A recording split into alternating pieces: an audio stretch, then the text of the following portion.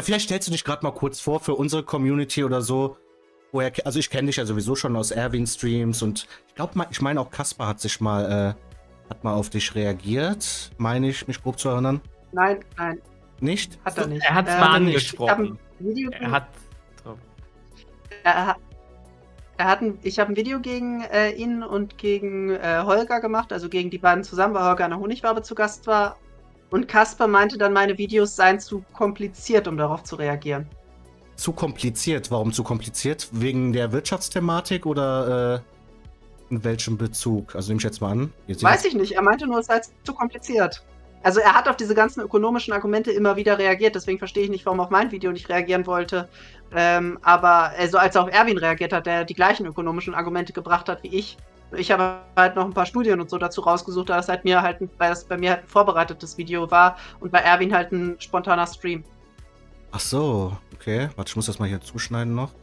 Ja, ich hab, ich weiß ja beim Thema Wirtschaft, da bist du voll drin. Ich habe schon Star drauf angesprochen. Äh, weil er von uns auch, sage ich mal, derjenige ist, der wirtschaftlich vielleicht am meisten bewandert ist. Aber er hat auch gesagt, nee, der, der ist mir da zu sehr drin, da hätte ich, glaube ich, keine Chance. ja. Ja, das, das, das, das Ding ist halt, äh, ich habe mal die ersten fünf Sekunden oder sowas halt mal von einem Video angeschaut. Ich äh, selbst habe noch nicht richtig viel geschaut. Aber äh, ich bin ein bisschen drin wirtschaftlich, aber am Ende, ja gut, dann erzählst du mir halt XY. Am Ende sage ich ja, ich nehme das mal so hin, wie es ist. Das ist halt keine produktive Diskussion am Ende. Ja, aber das Thema Vokismus ist sowieso, denke ich, ein gutes Thema, worüber wir gut sprechen können, gemeinsam. Ähm, ja, wie wollen wir das denn? Was wäre denn da so dein Standpunkt jetzt zu der äh, Vokismus oder Shoyoka-Thematik? Wie hast du das so wahrgenommen, das Thema? Ähm, ich bin darauf erst aufmerksam geworden, als ähm, Shoyuka versucht hat, andere Streamer wegzucanceln. Also ich äh, habe das am Anfang gar nicht so sehr verfolgt. Das ist mir ja egal, wenn sich da ein paar Influencer wegen irgendwelchen Gaming-Preisen streiten. Ja. Aber wenn dort äh, Leute von Twitch massenhaft gebannt werden sollen, die einige woke Streamer kritisieren, dann ist das schon relevanter.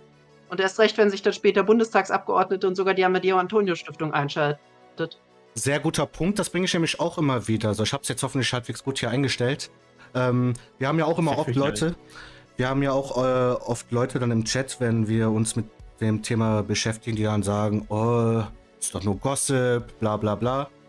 Ähm, ich habe da immer dann den Take gebracht und ich sehe es auch so, dass es schon dort metapolitisch deutlich wichtiger ist, weil sie da äh, wirklich äh, mächtige Medienhäuser, vielleicht sogar Politiker oder was weiß ich, hinter sich hat, wie zum Beispiel die Antonio Amadeo Stiftung, oder Amateo Antonio, sorry, äh, und halt, weiß nicht, mein MMO und was für Medien da überhaupt alles so mitmachen, da kriegt man schon irgendwie ein unangenehmes Gefühl dabei, weil die auch diese Frames, die sie da bringt, eins zu eins einfach übernehmen und Leute dann irgendwie diffamieren mit ihrer Reichweite. Ja, also dass sich da so große Medien einmischen, das ist ja eine Reaktion darauf, dass äh, Shoyoka diesen Streit krachend verloren hat. Also die Wokies sind gerade dabei, eine metapolitische Niederlage auf Twitch zu erleiden und äh, jetzt eskalieren sie das quasi auf noch einer höheren Stufe. Sie betteln bei Amazon bzw. Twitch darum, dass äh, missliebige Streamer gesperrt werden und es äh, mischen sich größere Institutionen ein, die letztlich die ideologische Legitimation für die Sperrung der Streamer ähm, liefern, indem sie jede Kritik an Shoyoka als Mobbing labeln. Ich habe auch letztens den Deutschlandfunk gesehen, der da einen sehr manipulativen Beitrag zugebracht hat. Ja, der Deutschlandfunk, das haben wir uns auch angeschaut vor zwei Wochen. Die sind generell auch in letzter Zeit sehr manipulativ aufgefallen. Würde ich auch sagen, ja. Und äh, da haben wir ja auch bei Freiraumred zum Beispiel gesehen, dass sie da auch irgendwie äh, Freundschaften pflegt, da zur äh, AAS-Stiftung, sage ich jetzt mal abgekürzt. Und ich halte das schon für ein gefährliches Thema. Ich sage dann immer wieder jetzt in letzter Zeit, naja, ihr müsst es so betrachten. Eine Shurioka ist quasi der Schlomo der Vogue-Bubble. Sogar noch wichtiger und mächtiger, weil sie halt da wirklich äh, Medien hinter sich hat. Und deswegen ist das ein Thema, mit dem man sich tatsächlich beschäftigen sollte. Und ich glaube auch nicht, dass diese Person einfach in Anführungszeichen dumm ist, wie es viele sagen. Sondern das, was sie tut, äh, auch wirklich jetzt bewusst tut. Weil sie da vielleicht, was weiß ich, ein Gamergate 2.0 oder irgendwie sowas künstlich konstruieren möchte. Würdest du da mitgehen oder wie würdest du das einordnen? Ja, Absolut, da, da braucht sie nicht mehr persönliche Kontakte. Es, re es reicht völlig, dass die Walkisten merken, dass sie hier in der Defensive sind und das dann, wie gesagt, auf einer höheren Ebene eskalieren. Also da braucht Shoyuka nicht mal persönlich Kontakt zu irgendwem, sondern es reicht völlig aus, dass da Bundestagsabgeordnete sehen hier bei den jungen Leuten, äh, die gehen uns auf die Barrikaden, da schwimmen uns die Fälle davon. Äh, wie retten wir das jetzt irgendwie? Mhm, mh, mh. Und äh, wie siehst du so diese äh, die Gegenseite jetzt von den Argumenten? Wie, oder wie, wie tief bist du in dem Game eigentlich drin? Seit wann verfolgst du dieses Thema? Frage ich erstmal so. Also so am Rande mitbekommen tut man es ja automatisch, wenn man YouTube-Videos oder so guckt. Also ist ja bei KuchenTV beispielsweise dauernd Thema gewesen. Mhm. Aber ähm, richtig aktiv mich daran beteiligen tue ich erst seitdem äh, Shoyoka in jüngster Zeit versucht hat, Nemesis, äh, Jay Riddle und ähm, KuchenTV zu, äh, zu canceln und das bei Nemesis und KuchenTV auch erfolgreich, beziehungsweise teilweise mhm. erfolgreich geschafft hat. Nemesis ist mittlerweile wieder entbannt, aber der war jetzt für ein paar Tage auch weg. Oder wie lange war der weg? Zwei Tage wegen ah. eines äh, DCMA-Strikes, für den es sachlich gar keine Begründung gibt. Also Nemesis hat sich dabei aufs deutsche Zitatrecht berufen und nachdem ist es völlig legal, auf Werke von anderen zu reagieren, sonst wären ja alle Reaktionsvideos illegal. Richtig, richtig. Äh, Finde ich auch irgendwie krass, ne? Dass man da einfach einen wegstriken kann. Ich meine, Dara hat das doch auch mal gemacht bei. Was bei Skurros vor ein paar Monaten? Bei KuchenTV. Oder auch bei KuchenTV, okay. Ja, also. Das ist auch irgendwie immer gefühlt eine Bubble, die dann auch zu solch ekligen Mitteln greift. Ähm, man ja, könnte munkeln, weil sie es müssen. Ja, ja, exakt. Der Kern äh, dieser Handlung liegt nicht äh, in irgendwie persönlicher Verdorbenheit von diesen Streamern, sondern in ihrer Ideologie. Also diese Walkie-Ideologie, die hat im freien Diskurs, äh, die hat da keine Chance, sich durchzusetzen. Wir sehen ja bei Shoyoka, wenn sie für irgendetwas kritisiert wird, dann sagt sie, das ist eine antifeministische Hetzkampagne und passiert nur, weil ich eine Frau bin. Also 95% aller vernünftig denkenden Menschen sagen dann, äh, was läuft eigentlich schief mit dir? Und wenn man da nun mal diesen freien Diskurs hat, dann verliert, also dann verliert die Walkabubble. Das heißt, wenn sie irgendwie einen Punkt sich erzielen will, dann muss sie diesen freien Diskurs irgendwie unterdrücken. Ja, der genau. freie Markt der Ideen ist ein, ist ein Risiko für sie. Ja, ja. Ja, es das ist Ding halt so, ist halt so, hier. Oder mach du. Ich würde sogar das große Risiko, was hier halt besteht. Wir haben einen Kuchen, wir haben einen Scores und alle möglichen, die sich klar gegen eine Shoyoka stellen und im Fall einen Scores ja auch ganz klar gegen die Woke Bubble. Das Problem ist hier, man muss halt auch dann solch einen Kuchen oder einen Scores stärken, weil wenn sie einknicken, wenn wir jetzt vorstellen, einen Kuchen mit einer Million an Abonnenten oder auch einen Scores, wenn die einknicken, wird kein anderer Normie mehr selbst äh, sich wagen, die Schnauze zu öffnen, weil dann kommt eben eine Shoyoka und fährt da einmal drüber. Wenn sie es schafft, bei einem Kuchen einmal rüber zu mähen, warum, wie, wieso kann sie es dann nicht bei jemandem anderen? Dann haben wir Twitch verloren. Vor allem bei Gronk ist es ihnen ja gelungen, dass sie bei der Hogwarts Legacy-Debatte, mit der hatte das alles ja mehr oder weniger angefangen, geschafft haben, ihn dazu zu zwingen, ein Spiel nicht zu spielen. Also in eigentlich eine sehr private Entscheidung ziemlich radikal einzugreifen. Der Gronk wurde weggekackt, komplett.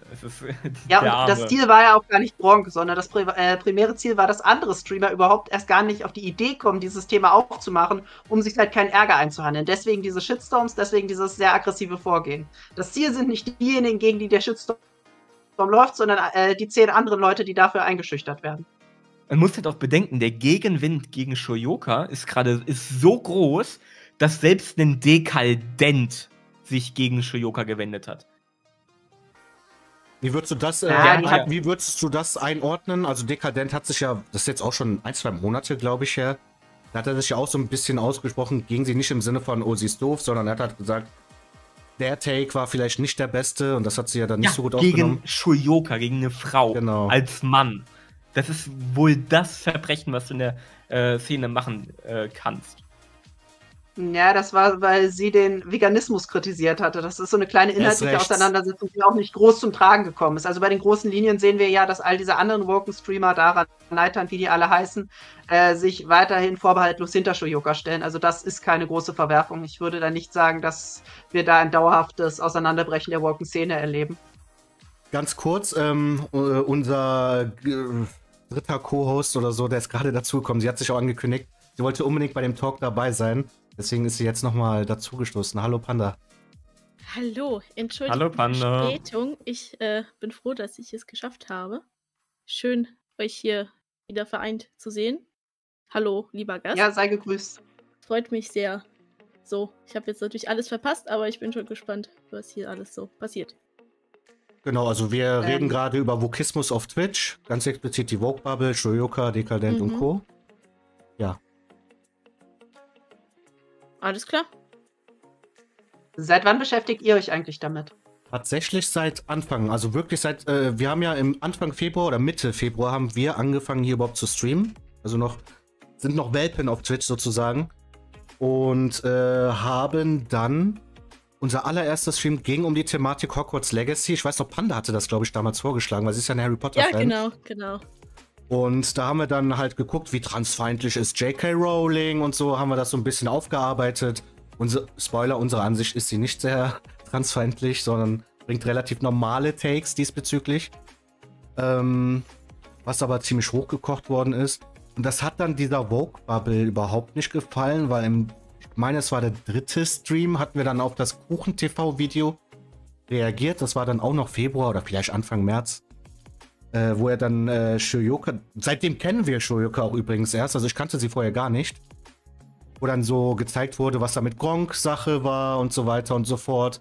Plötzlich hatten wir Alerta, Dave und wie die ganzen Birnen da hießen in, in unserem Chat und hatten richtig Beef mit denen und dann haben sie angefangen, mich auf Twitter zu doxen und all sowas. Und dadurch sind wir dann tatsächlich wirklich tief in das Game eingestiegen. Und das ist tatsächlich mit eines unserer Hauptthemen in diesem Jahr gewesen, des ganzen Streams. Ja, also wir waren eigentlich immer dabei. Ja, ihr seid quasi genauso eingestiegen wie Nemesis. Ich meine, der ist ja auch bei der Hogwarts Legacy-Thematik reingekommen. Ihm wurde einfach nur, also er wollte einfach nur Hogwarts Legacy spielen, hat das auch in seinem Stream ganz normal gemacht und dann sind ganz viele komische woke Leute, wie die, von denen ihr gerade erzählt habt, in seinen Chat äh, gekommen und haben ihn als transfeindlich und sonst was beleidigt mhm. und er wusste überhaupt nicht, worum es geht. Und dann hat er erst angefangen, äh, Reaktionsstreams zu machen. Da haben sie ihm ja den größten Gefallen getan, de, äh, den sie ihm tun konnten wahrscheinlich. Oder ich weiß jetzt nicht, wie groß Nemesis als Gamer war. Aber ich kenne ihn ja auch erst seitdem. Und ich glaube, ich würde mal behaupten, seine Zahlen sind wahrscheinlich seitdem sehr weit nach oben gegangen, oder? Auf Twitch jetzt. Ja, ich glaube schon. Ja, ja. Ja, also Aber herzlichen Dank kann er ja da an der Stelle ja, so quasi sein. Äh, auf jeden Fall auch interessant, äh, wie viele Leute diese Thematik einfach äh, radikalisiert hat, in Anführungszeichen, nee, ähm, einfach mitgenommen hat. Das ist schon, ja, krass. Ähm, ja, das Ziel der Walkies, das war damals natürlich nur, dass die Leute dann einfach nicht Hogwarts Legacy spielen. Also das war die erwartete Reaktion. Genau, du hattest ja gerade angedeutet, sozusagen ein Exempel an Gronk in dem Fall zum Beispiel zu statuieren, damit dann die zehn anderen Influencer sich gar nicht erst trauen, das Spiel überhaupt zu spielen. Online zumindest. Äh, wie würdest du denn Gronks Reaktion damals äh, einschätzen? Er hat es ja dann nicht gespielt, aber widerwillig.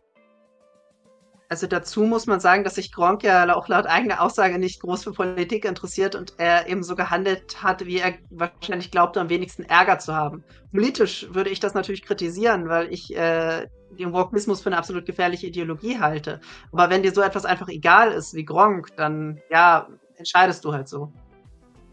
Ja, also so quasi dieser typische Normie-Take. Eigentlich würde ich gerne, aber ich habe keinen Bock auf den Stress, also lasse ich es bleiben.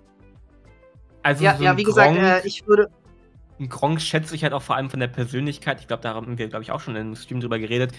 Als jemanden ein, zumindest das, was ich von ihm immer gesehen habe, ja, immer möchte, möchte er es irgendwie allen recht, recht machen. Nee, soll, ja. keiner soll ihn nicht leiden können. Irgendwie, naja, aber das Problem ist halt, wenn du es allen recht machen möchtest, am Ende machst du es halt keinem recht. Das ist das immer am Ende das Problem. Und äh, aus dieser Position, wenn halt so ein Gegenwind kommt, äh, ist er halt eingeknickt am Ende. Vor allem, wenn dir Politik relativ egal ist, dann ähm, kann, äh, kann, es dir auch egal sein, ob, ob andere Leute dein Verhalten als äh, vorbildlich oder nicht sehen, beziehungsweise welche Auswirkungen das auf die Gesellschaft hat. Also also aus politischer Sicht ist es natürlich absolut verheerend, wenn man solchen Walken Shitstorms nachgibt. Dadurch gibt man den Walkisten nämlich noch mehr äh, diskursive Macht. Dadurch gibt man ihnen Macht, eben in diesem Fall darüber zu entscheiden, welche Spiele gespielt werden können oder eben nicht. Ich glaube, ein Kronk hat auch nicht auf, unbedingt auf dem, äh, auf dem Zettel gehabt, dass wenn jetzt jedes Mal ein Spiel kommt und die Woken haben was dagegen, die werden ja genauso handeln. Warum sollten sie beim nächsten Spiel nicht auch sagen, hey, das ist, der ist ja genauso transfeindlich und du hast schon da Hogwarts Legacy nicht äh, gespielt, das darfst du auch nicht spielen. Er ist halt in keiner Position dann, in dem er sagt, ja, nee, das spiele ich jetzt. Ja, ja, vor allem dieser Vorwurf der Transfeindlichkeit, ihr hattet es ja gerade schon angedeutet.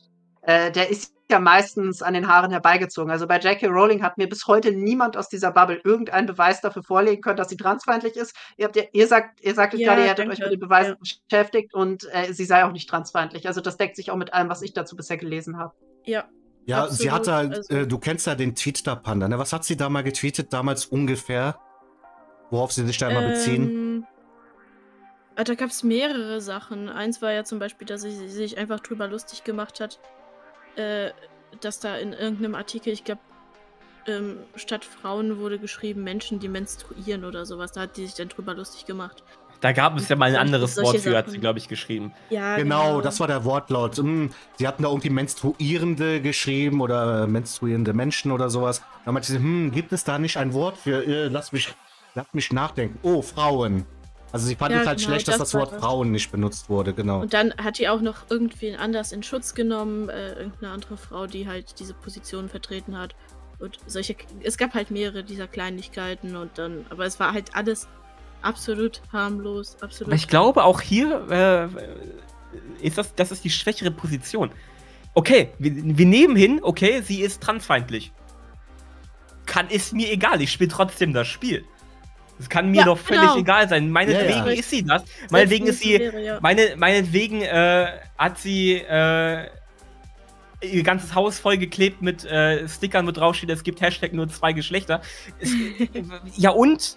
Ja, trotzdem ändert es das ja nicht daran, dass sie egal. mit dem Spiel an sich eigentlich nichts zu tun hat, außer dass sie halt eben die Welt erfunden Wird halt hat. über zehn Ecken. von anderen Leuten. Ja, die wird da Geld dran verdienen, das stimmt, aber das jetzt auch nicht ja, da also, wird halt auch über zehn Ecken dann irgendeine Kontaktschuld einfach aufgebaut, eine komplett so sinnlose.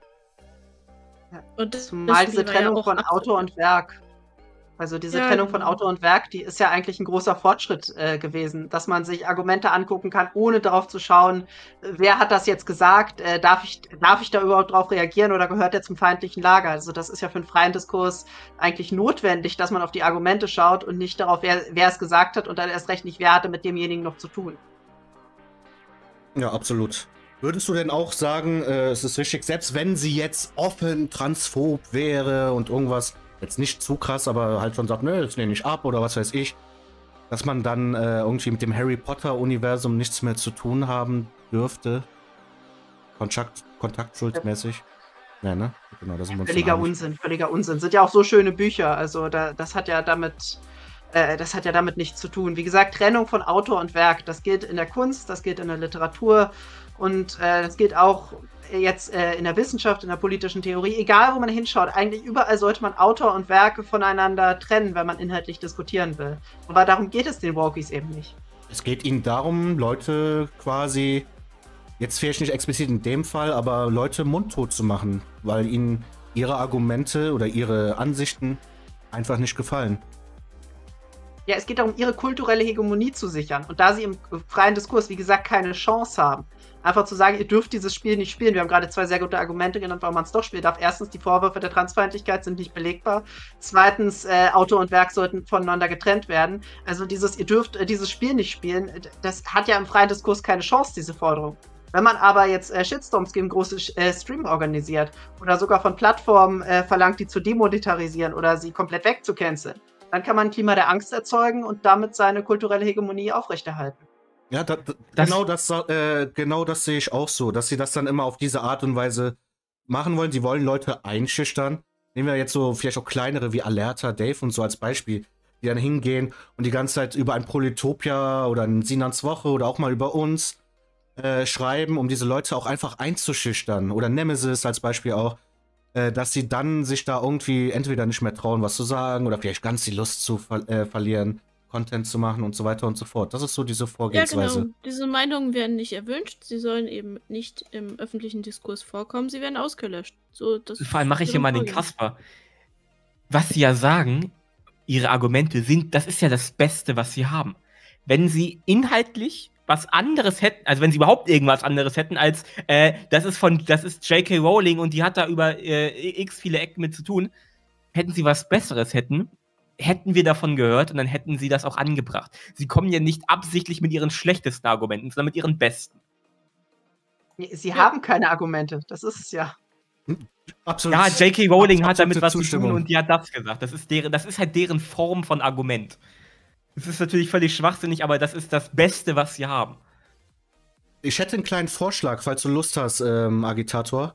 Ähm, wir, wir, sind nämlich zeitlich nicht so gut äh, durchgekommen eben. Wir hatten nämlich zwei Videos vorbereitet, zwei kleine eigentlich nur als Jahresrückblick. Äh, wir haben jetzt noch unser Meme-Video, das habe ich vorhin noch kurz so zusammengeschmissen. Äh, würdest du dir das kurz, das geht nur sieben Minuten, mit uns äh, anschauen wollen? Also das ist so ein kleiner Rückblick des jo, Jahres. Jo, jo. Hatten. Und da kommt tatsächlich auch die Thematik auf, wo äh, Alerta und Dave bei uns im Chat waren. Weil wir sind ja damals in unserem dritten Stream wegen diesen Leuten für sieben Tage gebannt worden auf Twitch. Dafür haben die tatsächlich auf perfide Art und Weise hier gesorgt. Und in dem Video kann man auch sehen, wie sie dafür gesorgt haben. Das ist eigentlich ganz interessant, auch für die Thematik gerade. Äh, ganz gut passend. Gut, dann schiebe ich dich mal kurz zur Seite, mach dich ein bisschen kleiner, damit man hier gleich den Player sieht. Ähm, Star, kannst du ihm mal den Watch Together Link zukommen lassen? Damit er das ja, dann Moment. gemeinsam mit uns schauen kann. Äh, ich gebe dir mal die Gastrolle, damit solltest du den Themenkanal unter uns sehen können und da liegt der Link drin. Äh.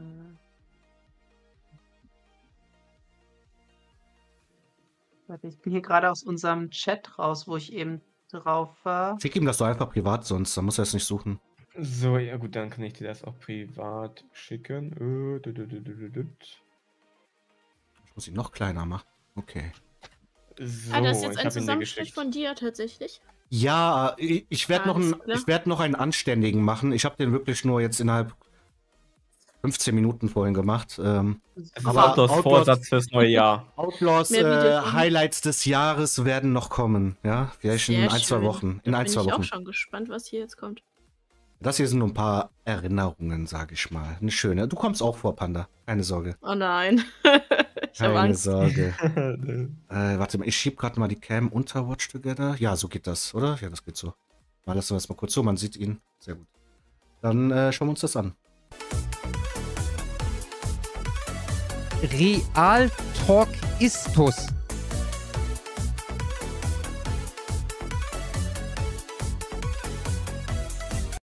Eine Frage habe ich dann doch noch. Heißt ihr Gerne. Real Talk ist das oder Real Talk ist das? Rate. Was glaubst du? Naja, wenn ihr ist, ähm, Istus, das passt ja mit dem Buchstaben nicht ganz. Dann hätte bei dem SAS das eine S fehlen müssen. Ja. Aber gute äh, Herangehensweise. Ja, Moment, aber wir haben ja auch folgendes Emote. Oder halt auch Realtalk Istus als Emote. Jetzt haben wir dich noch mehr verwirrt. Nein, wir heißen Real Talk ist Sass, aber der gute Kasper, als er mal auf äh, uns reagiert hat, hat halt ein Real Talk Istus daraus gemacht. Er hat auch mich äh, Utlav Istus genannt. Äh, das mit dem Namen, das ist so, so, so ein Kasper-Ding. Aber eigentlich heißen wir Real Talk ist Sass. Ja. Ja, Erwin nennt äh, uns auch so, aber äh, weil er den Meme kennt. Ja, da gibt es ein ganzes Video, wie wir zusammengeschnitten haben, wie Kaspar und äh, Erwin auf uns reagiert haben. Das ist ja auch immer in unserem Opening drin. Äh, ja, aber Kaspar ja. hat es authentisch äh, eingeführt und alle anderen genau. haben sich darüber lustig gemacht. War sehr witzig und dann ist es geblieben. Genau. Ja, die deutsche Aussprache ist ja auch schöner. Abs absolut. Kaspar bleibt sich treu. Er ist ein strammer deutscher Bursche. Hallo YouTube und schön, dass ihr wieder Ach, da Leute. seid. Okay, ich muss es nochmal neu machen. so ein Lampenfieber. Okay. Das war schon legendär. Das war im Sommer oder ja, so. Stress hier. Oder Frühling. Ja, hallo YouTube. Sehr früh war das. Vor dem Stream geht das nämlich immer genauso. Da ist die Gar auch nicht wahr. Ja, wenn, wenn wir sagen nein, nein. Pandas heute da mit der Begrüßung, ist immer Drama. Chill. Hallo YouTube. Wir sind wieder da und haben heute für euch äh, ein Video von Ferros. und ich werde hier ausgedacht, das ist nicht fair. Zu Recht. Okay, dann mache ich das nochmal neu. Nein, so. das, war doch, das war doch jetzt authentisch. Nein, ich, ich mache jetzt, ich mach jetzt nochmal neu. So. Letzte Chance. Hallo YouTube. Wir schauen uns heute ein Video von Ferros an. Die Opfer-Täter-Hierarchie der Boko Haram. Wir werden mal sehen, was der gute Ferros da zu diesem Thema zu sagen hat. Es ist ganz neu. Unser altes Wir werden es Logo. wahrscheinlich erst- Das alte, gute Logo. Sehr schön. Wenn es auf YouTube kommt, ist es wahrscheinlich so ungefähr drei Monate alt. Entschuldigung, ich möchte euch nur kurz. Äh, Aber seitdem haben wir irgendwie aufgehört, oder? Panda hat schon lange keine Videos mehr anmoderiert, weil wir laden auch nichts mehr hoch. Ja, genau. Was, wir, wir Müssen wir mal wieder. äh, mittlerweile zwei VODs pro Woche hoch, ja? Ich bin ganz fleißig. Ja, VODs, das ist ja was anderes als so einzelne Abteile, die dann Panda Ähm, anmoderiert. Das muss müssen wir Panda- mal wieder machen. Ja, ich, ich werde Sie darauf äh, hinweisen, dass sie einfach jetzt jedes Video, das wir gucken werden, anmoderieren wird. So. Oh, auf keinen Fall. Das ist was Gutes. was zeigen, was gemacht wurde. Äh, während, wir, während wir uns äh, das hier anschauen, Entschuldigung, ein kleines Intermezzo, damit ihr was zum Lachen habt. Äh, schaut euch mal das an. Weil ich, ich weiß nicht. Eurocreme. Einfach legendär. Zdrava i ekonomična hrana. Eurocreme. Eurokrem Eurocreme. za generaciju koja raste. Eurokrem Eurocreme. je prirodna hrana sastavljena od šećera, lešnika, kakaoa Eurocreme. i obranog mlijeka. Eurocreme. Generacija koja raste voli Eurokrem. Eurokrem, Eurokrem.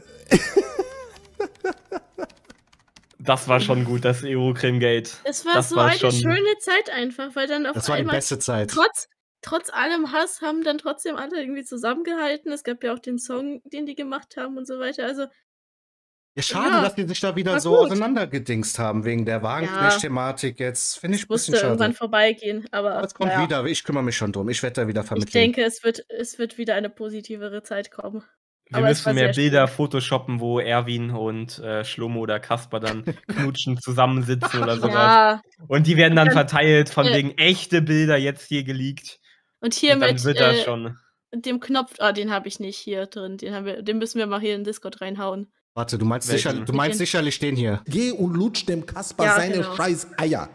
Genau das. Meinst du wirklich den? Das war eigentlich ein Spaß. Aber gut. Ja, ja, das, das war so gemeint. Also das unterlegt mit irgendwelchen schönen. Ja, aber die Bilder äh, sollte man vielleicht nicht teilen. Das ist, weiß Nee, ich nee, nicht. die sollte man nicht teilen, aber. Wird ja, mal gesperrt. Bisschen für. Liebe, bisschen Liebe verteilen. Ah, zu, sorry, ich, ich wusste das so kurz, ich wusste das so kurz. Äh, Vorspiel wurde mir heute zugeschickt, bitte 10 Stunden Remix. Dann. Viel zu lustig ist das. Äh, ja. Frage der privaten Einkommen und des privaten Vermögens. Also Pornos sind ja Prostitution. Also du bezahlst ja eine Frau, damit die da gesext wird. Je- Boah, Die da gesext wird. je- boah. Wenn du jetzt sagst. Oh Gott, der Talk mit Vitality, der war ja auch was Besonderes. Muss Der ich war- sagen. der- der ah, war ist auch schon lange her. Der war auch ist relativ am. Anfang. ja, ne? ja. Was Ist jetzt auch kommt, irgendwann einfach verschwunden. Ne? was jetzt kommt, ist Mhm. übrigens für den Agitator recht interessant. Das ist jetzt von dem äh, Alerta-Stream, was sie da mit uns gemacht haben. Kurz zusammengefasst.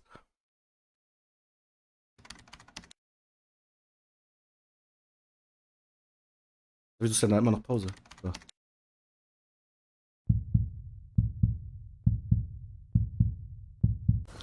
Alarm! Alarm! Da haben sie uns dann, also hier kurze Erläuterung für dich. Da haben die uns jetzt irgendwie hier dieser Jane Hayos, das war auch einer von denen, der hat uns dann den Link gegeben zu diesem Dokument. Die hatten damals extra so ein Dokument von J.K. Rowling, wo sie ja irgendwie recherchiert haben und aufgeschlüsselt haben, wie böse transfeindlich sie ist, was für äh, Zitate es von ihr gibt und so weiter und so fort. Und dann kamen sie halt in unseren Chat rein, weil wir halt gesagt haben, sie ist nicht transfeindlich. Wir haben dafür argumentiert haben gesagt, ja, dann guck doch mal auf das Dokument und äh, äh, äh, lasst uns darüber debattieren. Und das war unser dritter Stream. Wir waren naiv, gutgläubig, und dachten, ja gut, wir nehmen uns euch jetzt mit unseren Argumenten auseinander, wir schauen uns das jetzt hier gemeinsam live mit euch an. Ja, das war unser Mindset. Und vielleicht hier nochmal ergänzend hinzugefügt, das ist das Dokument, was auf Twitter rumging, das Dokument, was auch eine Shoyoka zum Beispiel geteilt hat. Das war, Dekadent auch, ja. Mhm, genau das. War ein, das bekannteste Dokument äh, zu J.K. Rowling auf, äh, im deutschen Twitter-Bereich. Ja, die haben da so einige, die sammeln immer und dann über erstellen die über jeden Dokument. Es gibt auch 'n Agu äh, Dokument über Skurrus, über KuchenTV, über Proletopia. Also, es gibt über jeden, den die gerade anfeinden, 'n Dokument. Und ich habe mir habe das zu J.K. Rowling auch mal überflogen.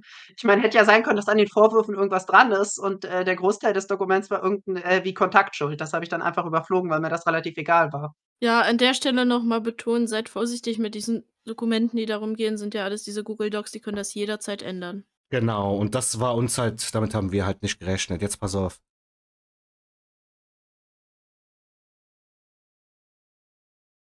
Wir können's ja mal kurz, äh, uns anschauen. Warum denn nicht? So, In hier diesem Doc geht es um Transfeindlichkeit von J.K. Rowling. Hier findet ihr Quellen zu ihren Transfeindlichkeit. Das Problem ist, hier ist halt so viel, das kann man nicht alles jetzt so auf die Schnelle da alles Doch, durchgehen, das oder? kriegen wir, das ist ja alles eh nur Bullshit. Über die Aussage von Stargefallen wieder, das ist alles eh nur Bullshit. Das wird die auch richtig getriggert haben damals. Ja, es stimmt ja halt auch. Das ist alles Bullshit. Ich bin das, ich habe das ja vorher sowieso, ich kannte das ja schon, ich habe mir das ja äh, im Vorhinein schon mal angeschaut, als äh, Shoyoka das geteilt hat. Da steht halt nichts Relevantes drin. Da steht gar nichts drin. Null.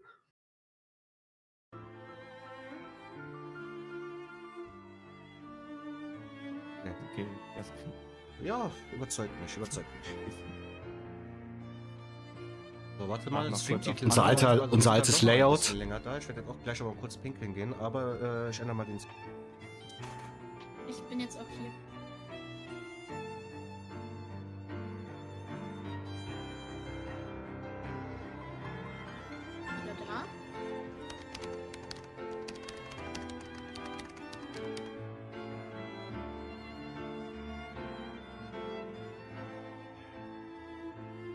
Also du musst dir vorstellen, das Bild hier war halt on-stream live zu sehen, ohne den schwarzen Balken hier, ja? Also da kannst du dir auch das äh, unzensierteste überhaupt vorstellen. Was da. Das Äh, war, äh, der Antideutsche da, den ihr da gerade eingeblendet habt, genau, also Alerta. genau, höchstpersönlich. Ach Gott. Du hättest mir diesen Link nicht geben sollen, Was? Digga. Du hättest mir diesen Link nicht geben sollen.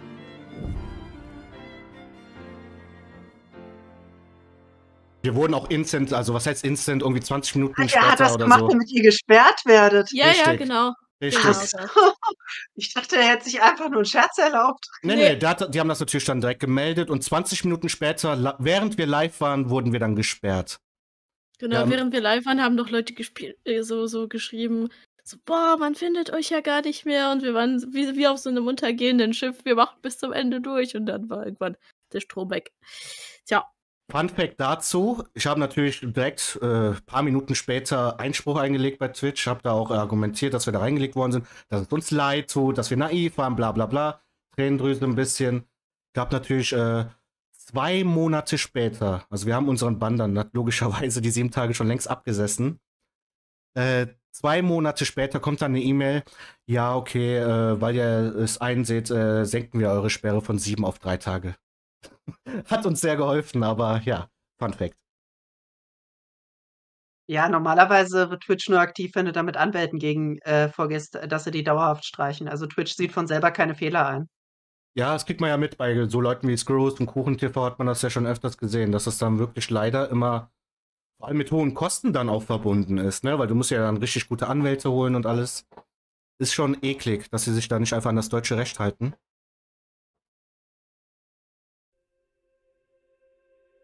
Und hier ging es dann um unser Comeback. Das kann man sogar skippen. Du kennst Real Talk ist das? Real Talk istus. Es Schau, da hat er es gerade richtig ausgesprochen. Also er kann es mittlerweile. US, alles ein Wort? Ja. Hast du das Video gesehen mit der Eurocreme? Eurocreme. Eurocreme. Das habe ich gesehen. Ist großartig. Ey, alter Schwede, es ist so krass gut. Viel Spaß. Großartiger äh, Werbespot. Eurocreme. Eurocreme. Prirodna, zdrava i ekonomična hrana. Eurocreme. Eurocrem. Eurocreme. Za generaciju koja raste. Eurocreme Eurocreme. je prirodna hrana sastavljena od šećera, lešnika, kakaoa Eurocreme. i obranog Eurocreme. Generatia Coaraste voli Eurocreme. Eurocreme. Herrlich, wie Erwin sich kaputt gelacht hat.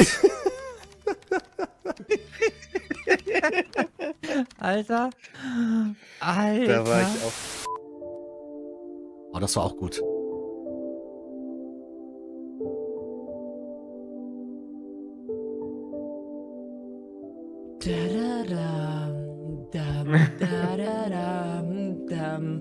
Alles mit einer melodischen Untermusik, damit es dramatischer klingt und nicht wie die komische Conspiracy Theory, die ich von mir gebe, weil ich Wörter nicht verstehe, die ich nutze. Aber mit dieser melodischen Musik klingt es so, als hätte ich irgendwas entdeckt, was noch niemand vor mir versteht. Was ist das für ein komischer Apparillo? Äh, meinst du jetzt die Melodie? Oder? Nee, äh, das, was äh, sie sich da gerade auf den Kopf gesetzt hat. Ach, kein Plan, kein Plan. Aber sieht so kennst aus du wie den Ausschnitt? Kennst du den Ausschnitt? das ist, äh, da macht die sich Nein. über den Äqualisten. Die kennst du ja sicherlich. Die Maxaline, die war hier auch Mhm. häufiger zu Gast. Äh, da macht sie sich gerade über sie lustig auf TikTok. Da, das ist quasi Mobbing nach unten, was da gerade Shoyuka betreibt. Und das war so die Reaktion Das von ist kein Maxaline Mobbing, darauf. das ist Aufklärung. Also ich glaube, du Ja, bei Shoyoka, ja stimmt, bei Shoyoka ist es Aufklärung, sorry. verstanden hat. Sieh mich an mit meiner ernsten Musik. Tut mir leid. Ich habe vielleicht als Erklärung, äh, was wir im Hintergrund sehen, wie sie da mitsingt. Da hat sie sich über das Video von Mark Cerny lustig gemacht und hat gesagt, hat sich über dieses Lied halt aufgeregt. Und das Video, was wir im Vorhin, was wir im Vordergrund sehen, ist das, was sie selbst auf Insta gepostet hat, mit exakt derselben Musik. Das kann man sich wirklich nicht ausdenken. Stimmt. Wenn es so ist, ja. Also laut Maxaline war es so, ja. Ich kann die überhaupt nicht ernst nehmen. Die labert nur Scheiße. Genau. Ja, das habe ich vorhin nur äh, kurz zusammengekattet. Da kommt bald noch eine ausführlichere Version, denke ich. Vor allem, was man beim Äqualisten, glaube ich, dazu sagen sollte, ist, dass die äh, mittlerweile sogar das Land verlassen will, weil die Woken Mhm. das so komplett übertrieben haben. Also das ist ja diese ganze Cancel-Bande. Ähm, Wavelings der Mitte, Shoyoka und die anderen, die da wirklich alte TikTok-Ausschnitte ausgraben und versuchen, sie in die Nähe von Holocaust-Leugnung Leugnung und anderen Sachen zu bringen. Das war genau das nächste, wo, was ich äh, gerade ansprechen wollte in dem Zusammenhang.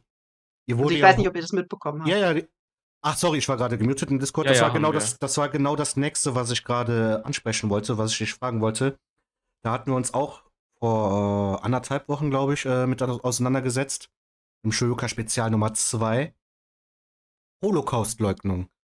Äh, wirft sie ja jetzt hier, sie hat ja einen aufgemacht, oh ja, ich habe sie gemobbt, es tut mir leid, das war nicht richtig von mir. Aber sie ist halt eine Holocaust-Leugnerin. So, so hat sie das ja ungefähr gesagt. Ähm, wir haben uns da auch den Ausschnitt äh, angeschaut, auf den sie sich da bezogen hat. Da hat ja Maxaline so im Groben gesagt, ja, im Zweiten Weltkrieg war nicht nur Hitler der Böse, sondern die anderen waren jetzt auch nicht gerade unschuldig, hat sie so in den Ah. Raum gestellt. Was völlig korrekt ist. Also Absolut. jemand wie Churchill, der hat äh, demokratisch gewählte Regierungen äh, wegputschen lassen, der hat äh, Aufstände, Kolonialaufstände durch Flächenbombardements äh, niederknüppeln lassen, der hat ja ähm, niederbomben lassen, der hat auch im Zweiten Weltkrieg grausamste Kriegsverbrechen begangen. Also der Haben war jetzt Seiten, nicht ja, genau. im eigentlichen Sinne. Ja, Also ich würde Weil auch keinen heißt- als die Guten Ja. bezeichnen. So, Ja. da bin ich ja auch absolut bei ihr. Und da dann irgendwie eine Holocaust. Nicht nur, also selbst, ich dachte ja erst, es geht um eine Verharmlosung. Selbst das dachte ich mir, das ist äh, Bullshit. Aber sie hat ja sogar tatsächlich das Wort Leugnung in den Mund genommen. Also damit leugnet man doch rein gar Absolut nichts. nicht. Rein gar nichts Es geht man nicht um den Holocaust in der Aussage, gar nicht. Nee, das ist so ein antideutscher Take. Du sagst irgendwie äh, irgendwas über den Zweiten Weltkrieg und ordnest die Verbrechen der Alliierten nur ein. Und äh, dann bist du automatisch auf Seiten der Nazis und fandst alles gut, was sie gemacht haben. So, sobald du sagst, äh, ich finde das jetzt nicht so gut, wie man da Dresden plattgebombt hat oder Hiroshima und Nagasaki hätten nicht sein müssen, sobald du das sagst, äh, bist du auf Seiten der Nazis. Das ist äh, diese Ja. antideutsche Ja. Argumentation. Damit, also und meiner Meinung Antideutsche nach. und die, die haben sich ja in Deutschland mehr oder weniger zusammengetan. Also die sind ja mehr oder weniger verschmolzen. Ja, und äh, meiner Meinung nach will man damit dann einfach die Leute auch mundtot machen. Dazu sagen, hm, ja, da gibt es auch ein bisschen Kritik, die man da an gewissen Vorgehensweisen hätte üben können oder müssen. Aber nee, da, da, da machst du dich ja mit den Nazis gemein, blablabla. Das ist doch, ja, nichts anderes außer Mundtotmacherei dann, oder? Weil es traut sich ja dann keiner darüber zu sprechen. Wenn man dann schon direkt in eine Holocaust-Leugnung irgendwie, gerade bei Max Saline ist das ja umso lächerlicher, wenn man bedenkt, dass sie ja selber eine Jüdin ist. Ja, ja. Äh, vor allem äh, diese, also diese Leute, die, diese Wokies, die Antideutschen, die, die fahren ja nach äh, Dresden und halten da Plakate hoch, Bomber Harris, do it again. Oder äh, Sau Sauerkraut, Kartoffelbrei, Bomber Harris, äh, Feuer frei. Das hat ja so eine Referentin von der Amadeo Antonio Stiftung geschrieben. Die ja die, äh, heutzutage als die Guten zählen, ne? Das war ja auch ein Teil von Shoyukas ja. Kritik an Montana Black und Kuchen, dass sie ja ganz böse geredet haben über diese tolle Stiftung, die so viel Gutes tut. Und äh, da muss ich mich auch gerade noch mal korrigieren. Ich hatte vorhin Winston Churchill gesagt. Ich meine natürlich Arthur Harris. Der war derjenige, der in, dem, in äh, den arabischen Staaten die Kolonialaufstände durch Flächenbombardements äh, hat äh, niederbomben lassen. Also der mhm. hat äh, diese Taktik dann später auch im Zweiten Weltkrieg äh, bei deutschen Städten angewandt. Ja, ich glaube laut Wikipedia über 90 Prozent des Landes waren ja komplett zerbombt dann gegen Ende des Zweiten Weltkrieges. Ja, ist sogar 95 Prozent, ich weiß nicht genau, aber so in diese Richtung ging es ja, ne? Ich bin ja Kölner und ich kenne ja auch äh, die Bilder, wie zum Beispiel Köln 45 dann ausgesehen hat um den Dom herum. Das war eine reine Ruine, ne, das ganze Land. So, weiß man auch nicht heute, ob das hätte wirklich sein müssen, ne? Gerade in der Zeit dann am Ende des Krieges. Aber gut. Und ich finde halt, es ist durchaus legitim, solche Kritiken zu äußern und zu sagen, war bestimmt nicht alles perfekt, was die anderen, auch Stalin oder halt, wie du sagtest, Churchill oder Harris, äh, dass man da auch äh, sagen kann, ja gut, so toll waren die auch nicht. Das, ja, aber das relativiert halt Fall. nicht den Holocaust, hat nichts damit zu tun. Nö. Aber alle sollten, natürlich sollten alle Verbrechen kritisiert werden dürfen, also. Ja. Genau. Ja, Vogue Bubble. Also es sind halt auch immer diese Leute, Dara, Dave. Von Alerta hört man komischerweise seit Monaten jetzt nichts mehr, seitdem das Groß und Kuchen, glaube ich, irgendwie weiß nicht, ich hatte ja damals auch, äh, als Alerta mich dann gedoxt hat, hatte ich natürlich den Tweet gemeldet.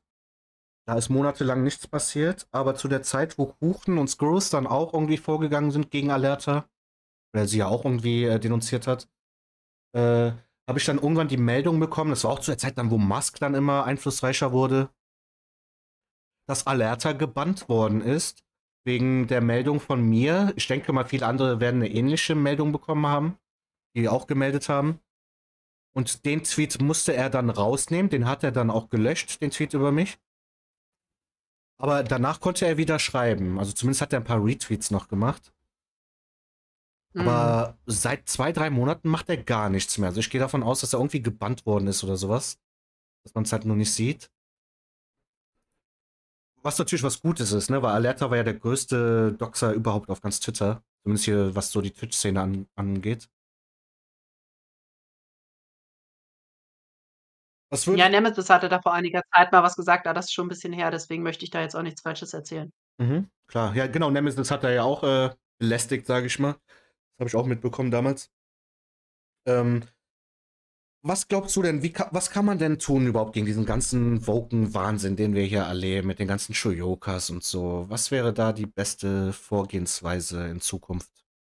Also erstmal die Finanzierung durch große, ähm, ja, äh, durch große Thinktanks und durch staatliche Stellen abstellen. Also sowas wie die Amadeo Antonio Stiftung, das sollte kein staatliches Geld mehr bekommen. Und diese ganzen anderen Thinktanks sind ja nicht nur woke Thinktanks, es ist ja so eine ganze Landschaft, die da also die da vom Staat durchgefüttert wird. Und dann gibt es noch ausländische Organisationen wie das Institute äh, of Strategic Dialogue oder die Human Rights Campaign, die aus den USA bzw. Großbritannien kommen und den Diskurs in allen westlichen Ländern beeinflussen. Und da muss man schon gucken, inwieweit große ausländische Kapitale hierzulande Organisationen äh, finanzieren dürfen. Also inwieweit man das einschränkt durch so eine Art Stiftungsgesetz. Also sowas hat ja Ungarn beispielsweise gemacht. Also das, sowas müsste man als erstes machen. Ah, um, um sich quasi dann von diesen äußeren Einflüssen zu schützen, hat Ungarn da Gesetze erlassen. Wie sähe dann da so ein mhm. Gesetz aus, falls du das jetzt weißt? In du etwa? kannst einfach die Spenden an, von ausländischen Akteuren an inländische Organisationen äh, einschränken. Hört sich auf jeden Fall also sehr basiert an. Ja die hatten ja auch also große Probleme mit Soros, ne? Zum Beispiel. Ich glaube, mit Soros hatte ja hier der Viktor Orban, glaube ich, so seine Probleme damals wegen seinen äh, NGOs glaube, Soros ist ja selbst auch ein Ungar. Äh, Star, was hältst du davon, wenn du das hörst? Die Vorgehensweise als einer der Punkte gegen den Vokismus? Ausländische Spenden ist, es ist immer eine Schwierigkeit, äh, inwiefern man das einschränkt und was so die negativen Konsequenzen sind, die am Ende damit eingehen. Also ich finde auf jeden Fall nein, so eine AAS hat null Cent von Steuergeldern verdient. Äh, ich glaube, den sind wir uns alle einig. Was Spenden angeht, weiß ich nicht. Großspenden. Großspenden kann man einschränken. Also wenn da jemand mehrere Millionen Euro nach Deutschland überweist, oder, dann äh, kann man da schon einen Riegel vorschieben. Wenn da jemand aus dem Ausland, keine Ahnung, 1000 Euro überweist, dann soll er es machen. Aber so große Geldflüsse, die das politische Klima in Deutschland beeinflussen sollen, die, ähm, das ist, glaube ich, nichts, was wir auf Dauer äh, gutheißen können. Wenn, wenn sich das politische Klima in Deutschland einmal wandeln könnte, also wenn Deutschland, äh, beispielsweise Deutschlands Bindung an die USA bröckeln könnte, dann werden, werden die USA natürlich alle Mittel der Informationskriegsführung nutzen, die sie zur Verfügung haben. Und dann werden auch von staatlichen oder halbstaatlichen Stellen aus den USA viel mehr Gelder hier in äh, Thinktanks in Deutschland gepumpt werden. Aktuell bezahlt die deutsche Bundesregierung ja die ganzen transatlantischen Thinktanks. Also wie gesagt, das Problem sind nicht nur woke Thinktanks, das sind auch neoliberale oder transatlantische. Mhm. Was denkst du, Panda, wenn du das hörst? Ich finde die Idee auf jeden Fall sehr gut. Also da wäre ich auf jeden Fall dafür. Ja, also ist ja auch kein... gemerkt, die ja? transatlantischen, die halt Gelder überweisen, um Einfluss auf die Politik zu nehmen, die haben ja ein Interesse darin, die haben ja einen politischen Gedanke, warum sie das tun, warum sie Einfluss auf die Politik nehmen wollen. Und äh, ich würde das nicht ganz wegtrennen von den Woken. Also, da, das, sind also, groß, das sind eigentlich. Gewisse Stimmungen also die Leute, verwischen sich natürlich miteinander, klar. Also, also diese, die transatlantische würde ich eigentlich mehr oder weniger untrennbar von, den, von der Wokeness sehen. Absolut. Wir haben in allen Altparteien und auch ja, im Mainstream-Diskurs äh, 'ne transatlantische, neoliberale und woke Hegemonie. Also, auf der kulturellen, außenpolitischen und wirtschaftspolitischen Ebene sind alle relevanten Parteien einer Meinung. Also, da gibt es auch verschiedene Theoretiker wie, äh, Curtis Jarvin oder Noam Chomsky, die das beschrieben haben. Ja, also, ich finde die also Idee auch, äh, sehr interessant tatsächlich. Ich sehe jetzt auch keinen Grund, warum generell äh, große äh, Geldflüsse aus dem Ausland äh, fließen sollten. Da sind dann wahrscheinlich irgendwelche Absichten, die dahinter stecken. Ne? Ob es jetzt politisch oder wirtschaftlich oder sonst was ist. Ähm, ist ja meistens dasselbe. Finde ich schon mal eine gute Idee. Was könnte man noch so machen? Hättest du da noch mehr Vorschläge? Also glaubst du, würdest du generell das Problem hier vor allem in diesen Geldern und in diesen NGOs äh, festmachen? Also das größte Problem in der Hinsicht? Ja, definitiv. Dann das Mediensys also definitiv. Also die äh, die treiben das ja groß voran. Also die bereiten ja auch Unterrichtsmaterialien für die Schulen beispielsweise vor, was, äh, ziemlich problematisch ist, wenn die nächste Generation gleich in den Schulen damit indoktriniert wird. Dazu, ähm, könnte ähm, muss man natürlich auf das Mediensystem noch Einfluss nehmen. Also ich wäre grundsätzlich für eine Reform der Öffentlich-Rechtlichen. Ich sehe aber, dass das politisch sehr, sehr schwierig werden wird, da da halt, ähm, alle Bundesländer mit am Tisch sitzen, die Bundesregierung und die Medienstaatsverträge neu zu verhandeln sehr schwierig sein wird. Deswegen halte ich es für politisch, äh, leichter durchzusetzen, den öffentlich-rechtlichen Rundfunk komplett abzuschaffen. Also, du bist eher für die Absch Abschaffung oder eher für die Reformierung? Ich bin eher für die Reformierung, so. aber ich halte die Abschaffung für leichter durchsetzbar. Okay. Ich finde, also eine Reform ist halt immer was Schwieriges.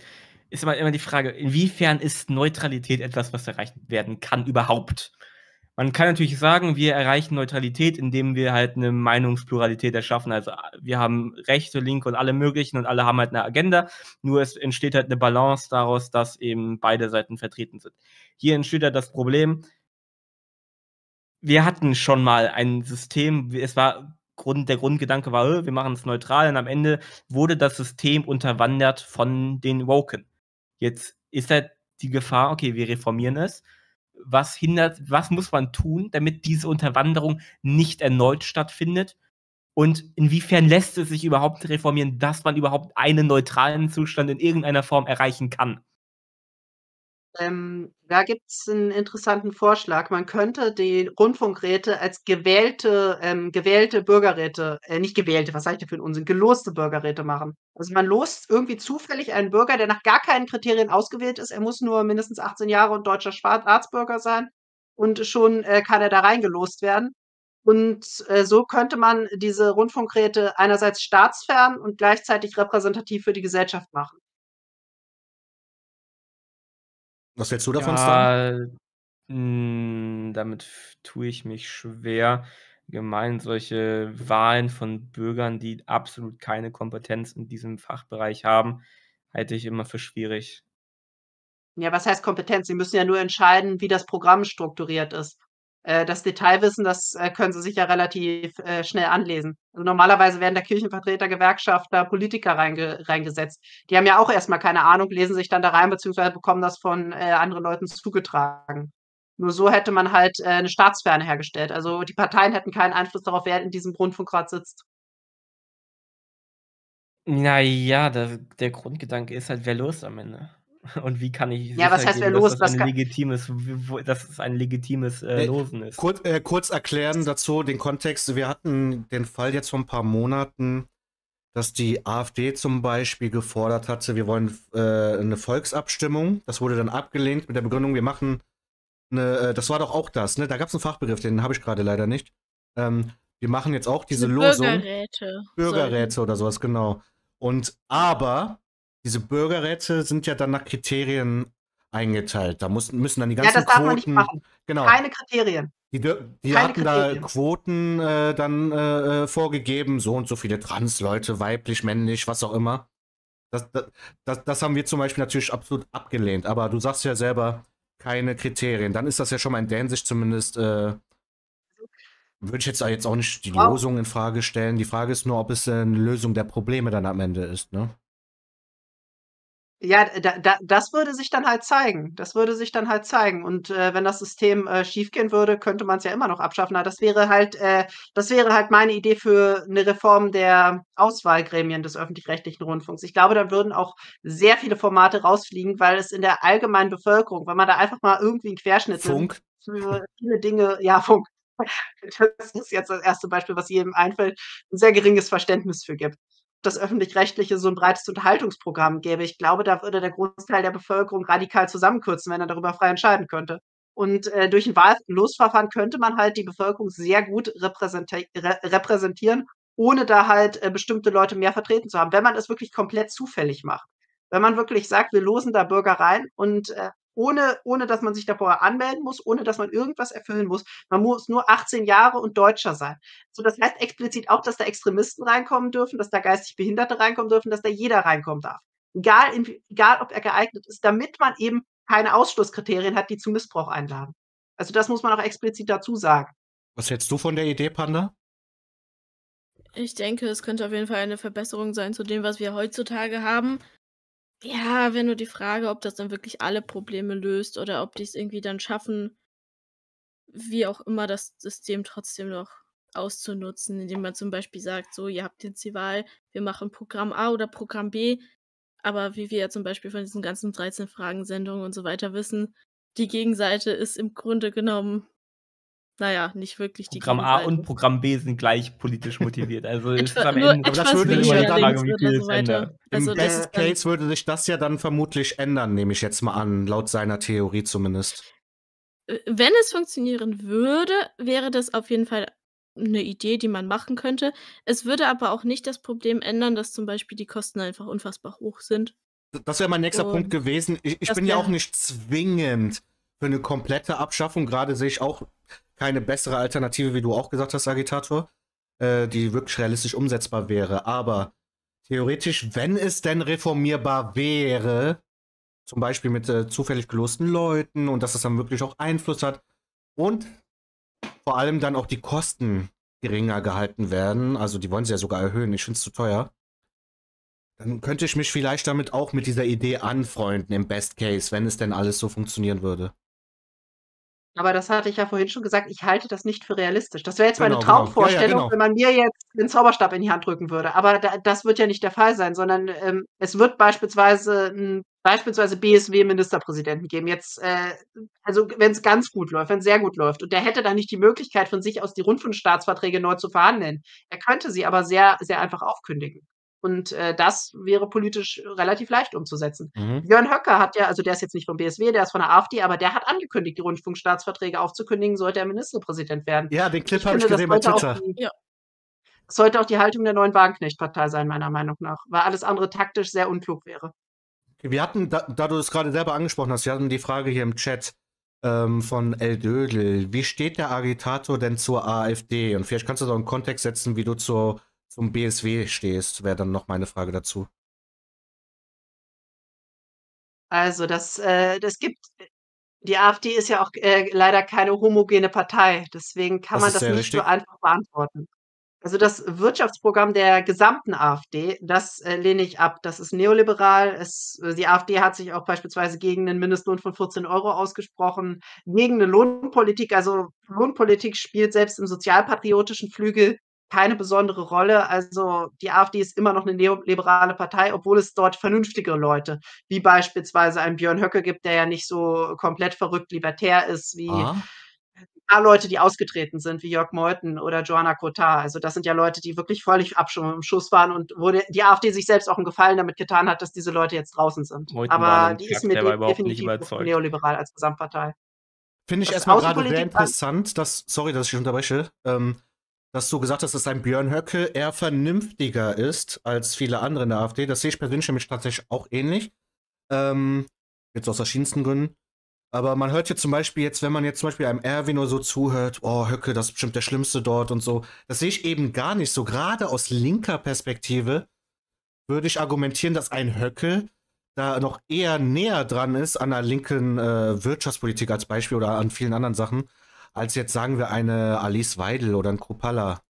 Würdest du das auch so sehen? Ja, ja würde ich auch so sehen, aber mir, mir fehlen auch bei einem Höcke viele Details. Also äh, spricht dann von einem sozialpatriotischen Kurs oder sogar von einem preußischen Sozialismus, wo er dann einen Satz später sagt, das hat mit Sozialismus natürlich nichts zu tun, was ziemlich selbstverständlich ist. Es gibt in Deutschland keine sozialistische Kraft und sowas, gerade in einer Partei wie der AfD zu, für, äh, zu fordern, wäre ja politischer Selbstmord. Also, aber da kommen keine Details hinterher. Also es sind viele Worte, aber wenig detailliert ist. Und es gibt ja Leute wie Benedikt Kaiser, die da ein bisschen mehr zu geschrieben haben. Da müsste ich mich wahrscheinlich ein bisschen tiefergehend mit auseinandersetzen. Ich habe aktuell noch ganz viele andere Sachen auf meiner Leseliste, deswegen kommt das wohl etwas kürzer, zumal ich, wie gesagt, den sozialpatriotischen Flügel nicht für hegemonial innerhalb der AfD halte. Hier haben wir direkt einen, einen Kommentar äh, mit einem Schmunzeln wahrscheinlich. Der Agitator ist Fan des rechtsextremen Flügels. oh je. Ja. Äh. Ich bin kein Fan, ich habe nur gesagt, dass ich den lieber mag als äh, ja, vor allem die westdeutsche AfD. Das ist, du magst das ist also den rechtsextremen Flügel. Du magst also Höcke, den man einen Faschisten nennen darf. Was ja also auch wieder Leute, ein blöder Frame ist. Ja. für Leute, die wissen, wie man komparativ verwendet, dürfte es diese Frage nicht stellen. Ähm, ja, aber äh, was mich auch in der westdeutschen AfD viel stört, diese Nähe zur Rüstungslobby und dieser Transatlantizismus. Also da gibt es ja noch ganz viele Transatlantiker, noch ganz viele Leute, die die NATO toll finden. Ganz viele Leute, die jetzt ähm, Israels Krieg bedingungslos unterstützen. Äh, da gibt es ja wirklich gruselige Bundestagsreden von beispielsweise Alexander Gauland. Also sowas ist. War ja mal bei den CDUler, muss man dazu anmerken. Ja, das hat auch mit einer Friedenspartei nichts zu tun. Das ist das exakte Gegenteil, was da einige Leute an den Tag legen. Also auch da habe ich aus dem sozialpatriotischen Flügel gemäßigtere Töne gehört. Ja, also ich bin ja auch zum Beispiel, äh, ich weiß nicht, ob du unserem Stream vorhin zugeschaut hast. Da war ich mir auch vorhin sehr uneinig mit Cat, was jetzt die äh, Palästina-Demos und Israel und so betrifft. Also ich bin da wirklich auch eher neutral unterwegs und äh, ich gehe da ja auch nicht mit jetzt zu sagen, ja, wir sind jetzt hier ähnlich wie es letztes Jahr mit Ukraine war, dass wir jetzt hingehen müssen und sagen, ja, wir sind solidarisch mit Israel. Nein, bin ich auch nicht. Äh, ich sehe, dass das ein sehr alter und langer und komplizierter vor allem Konflikt ist, wo man da gar nicht so leicht drüber urteilen kann. Und äh, dass beide so ein bisschen Deutsche können wir da ziemlich leicht haben. urteilen. Also aus Deutsche können wir sagen, wir haben Interesse daran, Handel mit diesen Regionen zu treiben. Wir haben Interesse daran, dass es zu einer friedlichen Lösung kommt und dass wir vor allem keine Flüchtlinge hierher bekommen. Und das ja. geht am besten mit einer diplomatischen Lösung. Und solange Israel halt den Bürgern, die da leben, äh, nicht die israelische Staatsbürgerschaft geben will, also dieses Land quasi annektieren will und äh, die Leute zu Israelis machen will. Also das, was Russland gerade in der Ukraine macht. Das Gebiet annektieren und den Leuten die eigene Staatsbürgerschaft in die Hand drücken will. Solange bleibt nur noch die Zwei-Staaten-Lösung. Und äh, da muss man sich natürlich dann diplomatisch für einsetzen. Ich meine, Israel hält ja quasi gerade militärisch die Hand über das gesamte Gebiet zwischen Mittelmeer und Jordanfluss, will den Leuten, will den Palästinensern, die in diesen Gebieten leben, aber nicht dieselben Bürgerrechte gewähren wie Israelis. Und das ist der zentrale Konflikt. Es ist halt, am Ende ist es halt eine schwierige Sache. Ich sehe halt so, dass im Vordergrund immer unsere Interessen als Deutsche stehen. Im deutschen Interesse ist es, dass es nicht eine Eskalation zum Dritten Weltkrieg gibt, dass es keine äh, Migrationsströme nach Deutschland gibt und halt, dass man einen möglichst guten Handel hat. Das sind unsere Interessen. Alles andere kann uns erstmal egal sein. Da bin ich absolut bei jetzt dir. Ist ja. das, jetzt ist das Problem, was macht man jetzt? Eine Zwei-Staaten-Lösung sehe ich eben als nicht mehr möglich, da man das halt schon hatte. Und ich glaube nicht, dass man sich seitens Israel dazu bereit erklären wird, dass man eine zwei, dass man eine zwei Staaten, dass man den äh, Gazastreifen und hier, boah, wie heißt die andere Region da? Irgendwas mit Jordan. Auch an wen du fragst. Und die andere ähm, Region da, dass man. Äh, Westjordan, oder? Nee. Westjordanland. Äh, in Israeli würde sagen Judäa und Samaria.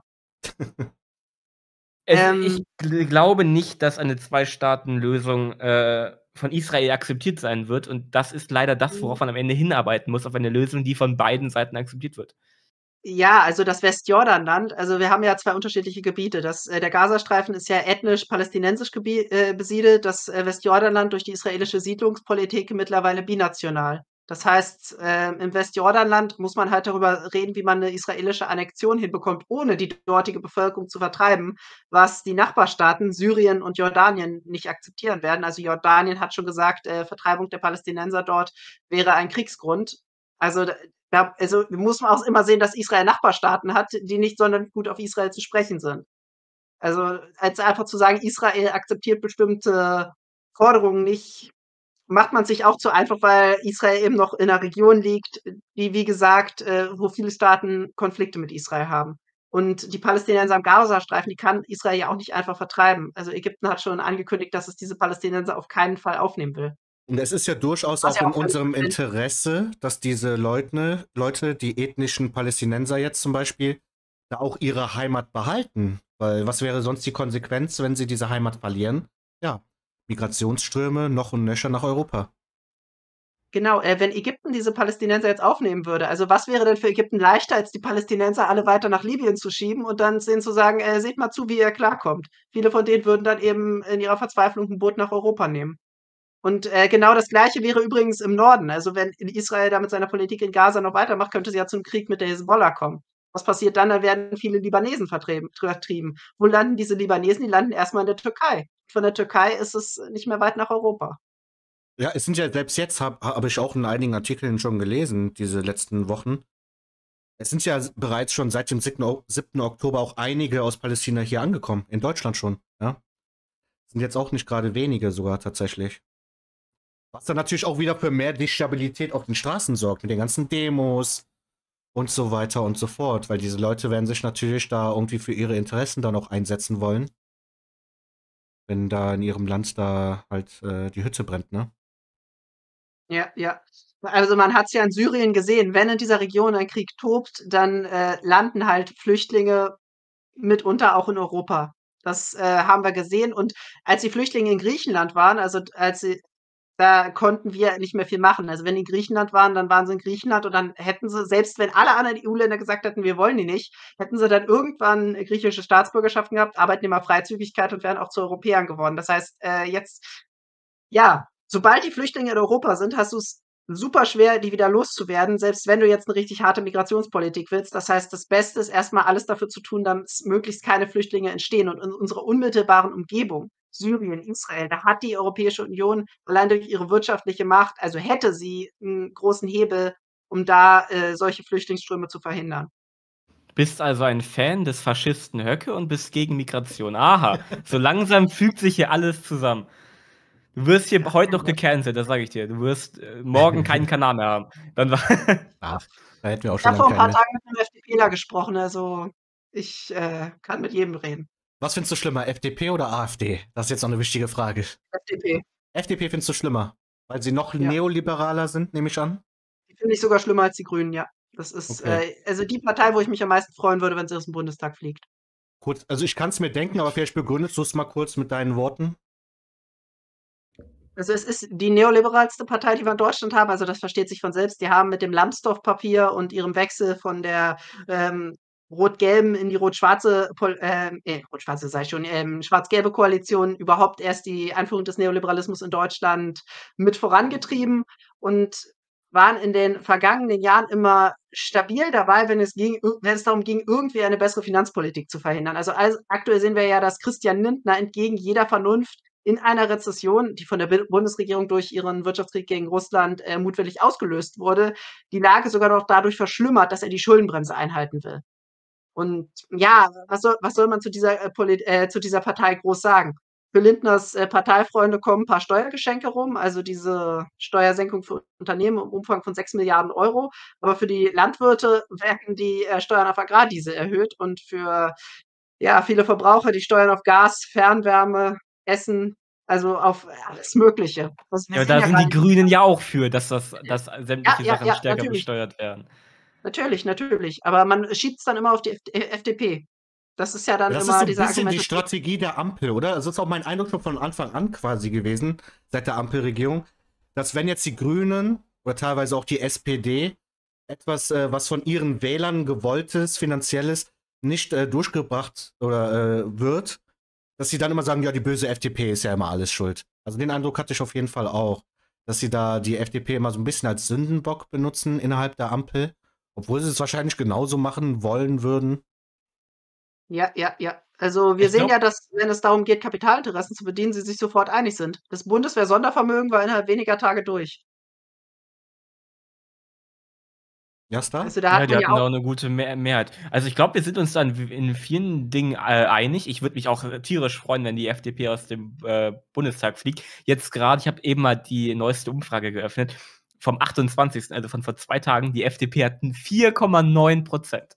Das heißt, nach oh, aktuellem oh, Stand ja. würde die FDP aus dem Bundestag fliegen. Ich habe gerade so ein Grinsen bekommen. Ich weiß ist nicht, ja auch verdient. Sie haben ja auch die Wählerschaft gnadenlos belogen. Ne? Ist jetzt nicht nur das Neoliberale und so, da bin ich nicht so drin, aber wenn man sich anschaut, und Christian Lindner stellt sich hin, 21 im Wahlkampf, hört sich durchaus recht basiert an in vielen Dingen, ja. Nee, Impfpflicht nee, und sowas gibt war, es nicht. Das war damals also schon klar, dass er lügt. Es ja, war damals warum? schon klar, dass er lügt. Also klar, ich also habe es auch gedacht, aber...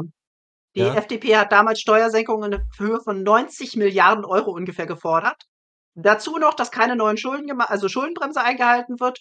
Und äh, ja, also das passt nicht zusammen. Du kannst nicht sagen, wir befinden uns noch, wir kommen gerade aus einer Rezession raus, dann sparen wir sofort so hart wie es geht und senken dann noch die Steuern um 90 Milliarden. Wo soll das Geld herkommen? Die FDP hat keine Einsparung genannt, die irgendwo dieses Geld hätte herkommen können. Also die FDP, es war damals schon klar, dass sie lügt.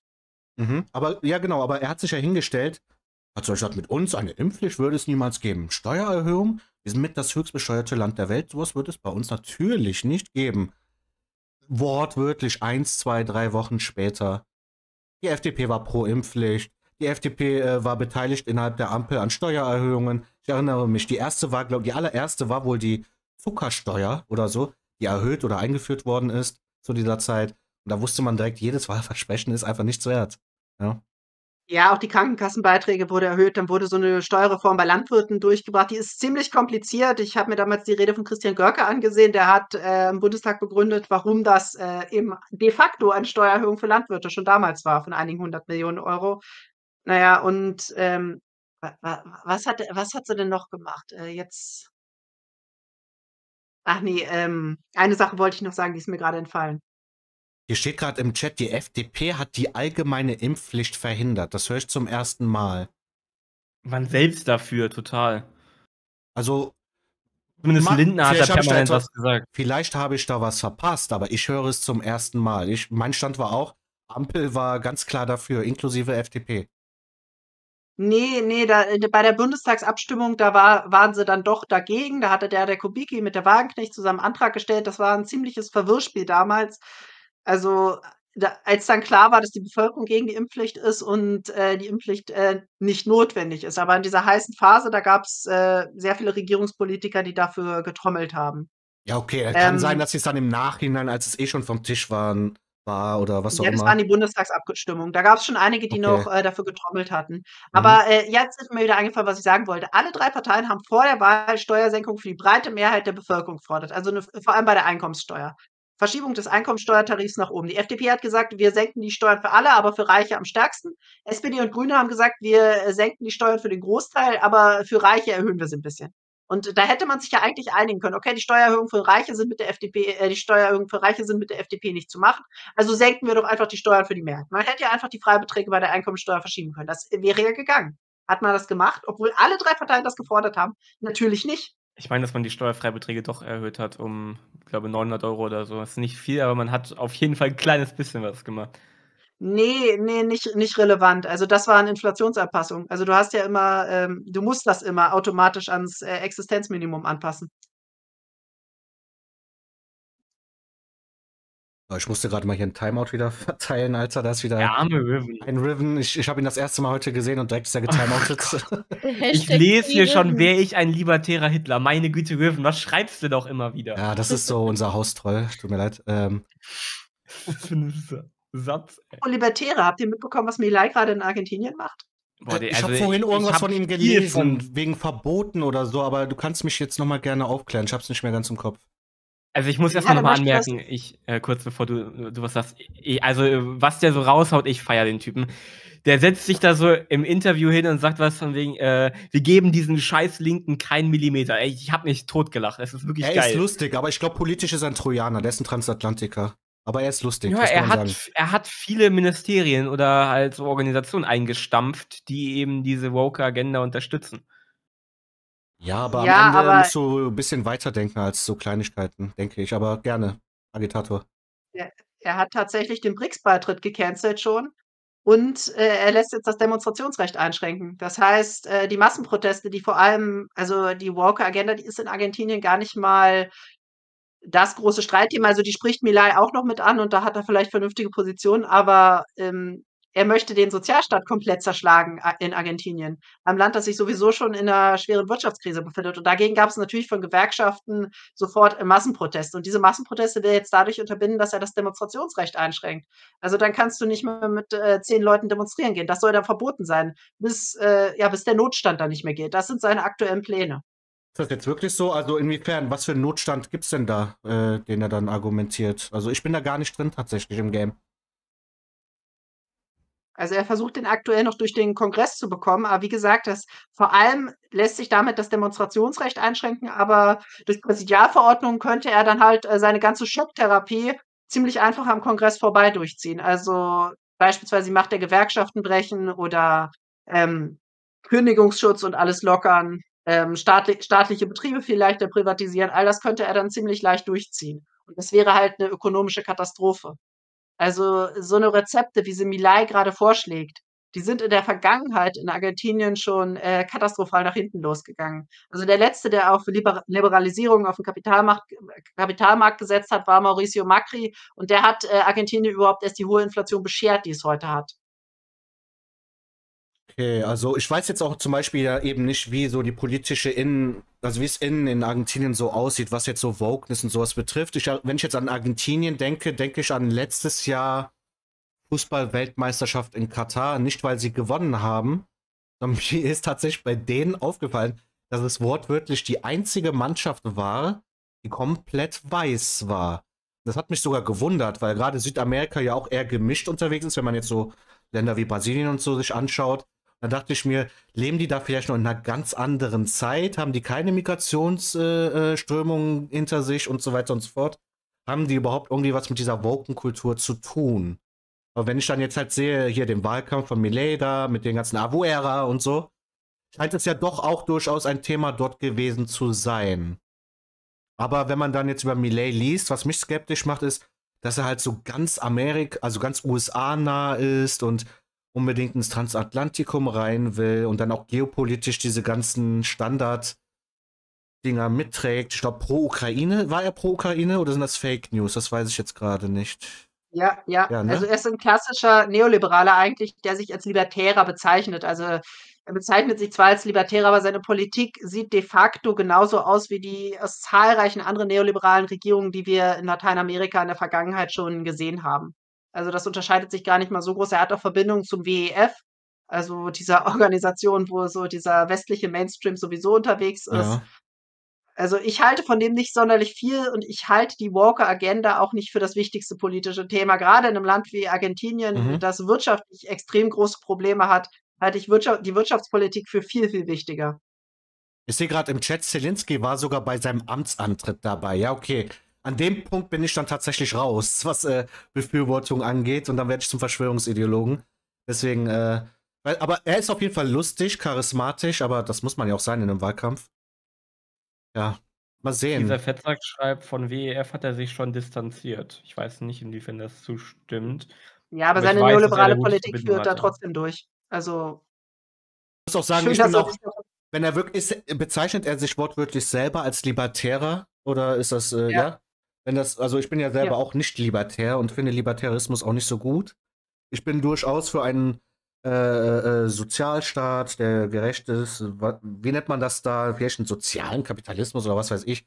Auf jeden Fall jetzt keinen harten, puren, monströsen Kapitalismus. Das bin ich auf jeden Fall nicht.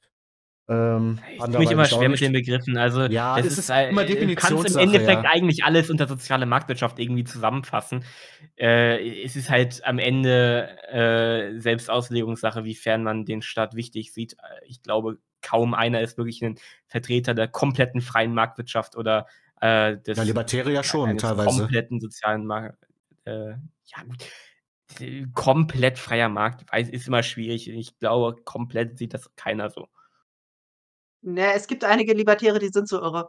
Also, es gibt einige Libertäre, die sagen wirklich, wir brauchen 'ne Privatrechtsgesellschaft. Also, solche Leute wie Hans-Hermann Hoppe, aber das ist der radikale Rand. Also, diese Grenzen zwischen Neoliberalismus und Libertarismus sind, äh, fließend. Die meisten Libertären setzen sich halt für so 'n Minimalstaat, wie wir ihn annähernd im 19. Jahrhundert hatten, also 'n Laissez-faire-Kapitalismus. Also, fast kein Sozialsystem. Der Staat stellt Polizei, Armee und hält sich sonst, ähm, aus'm gesellschaftlichen Leben raus. Also, das ist wohl das, was die meisten Libertären wollen und was auch das Utopia der Neoliberalen ist. Also, das da wie gesagt, die Grenzen zwischen Libertarismus und Neoliberalismus sind fließend. Ja, gut, beim Wirtschaftsthema, wie gesagt, da sind wir halt Laien. Also ich zumindest, Panda weiß ich auch. Star, der beschäftigt sich ein bisschen mehr damit. War aber auch schon ehrfürchtig, als er deinen Namen gehört hat, was das Thema betrifft. So Ähm, deep bin ich auf jeden Fall nicht drin. Ja. Der Großteil ist noch aus der Schulzeit, sonst äh, ab und zu mal liest man ein bisschen was. Ähm, vielleicht jetzt wirklich für einen Laien erklärt, als was würdest du dich denn äh, politisch gesehen bezeichnen? Zum Beispiel jetzt wirtschaftspolitisch, was ist das, was du anstrebst? Und da reden wir jetzt nicht vielleicht von einem Utopia in 500 Jahren, sondern jetzt vielleicht für die etwas äh, greifbarere Zukunft. Wie, was stellst du dir denn für ein wirtschaftliches System vor, wo du sagen würdest, das wär's? Ich würde mich als Sozialdemokraten bezeichnen, also als klassischen Sozialdemokraten. Die Politik, die in der Bundesrepublik und in den meisten westlichen Industrieländern von den 50er bis in die 70er Jahre betrieben wurde, die will ich erst mal wieder zurückhaben. Und was man dann eventuell noch besser machen kann, das kann man dann sehen, aber das wäre erst mal das Ziel, was ich politisch hätte. Also Ein das, Sozialismus mit Wagenknecht als Führerin.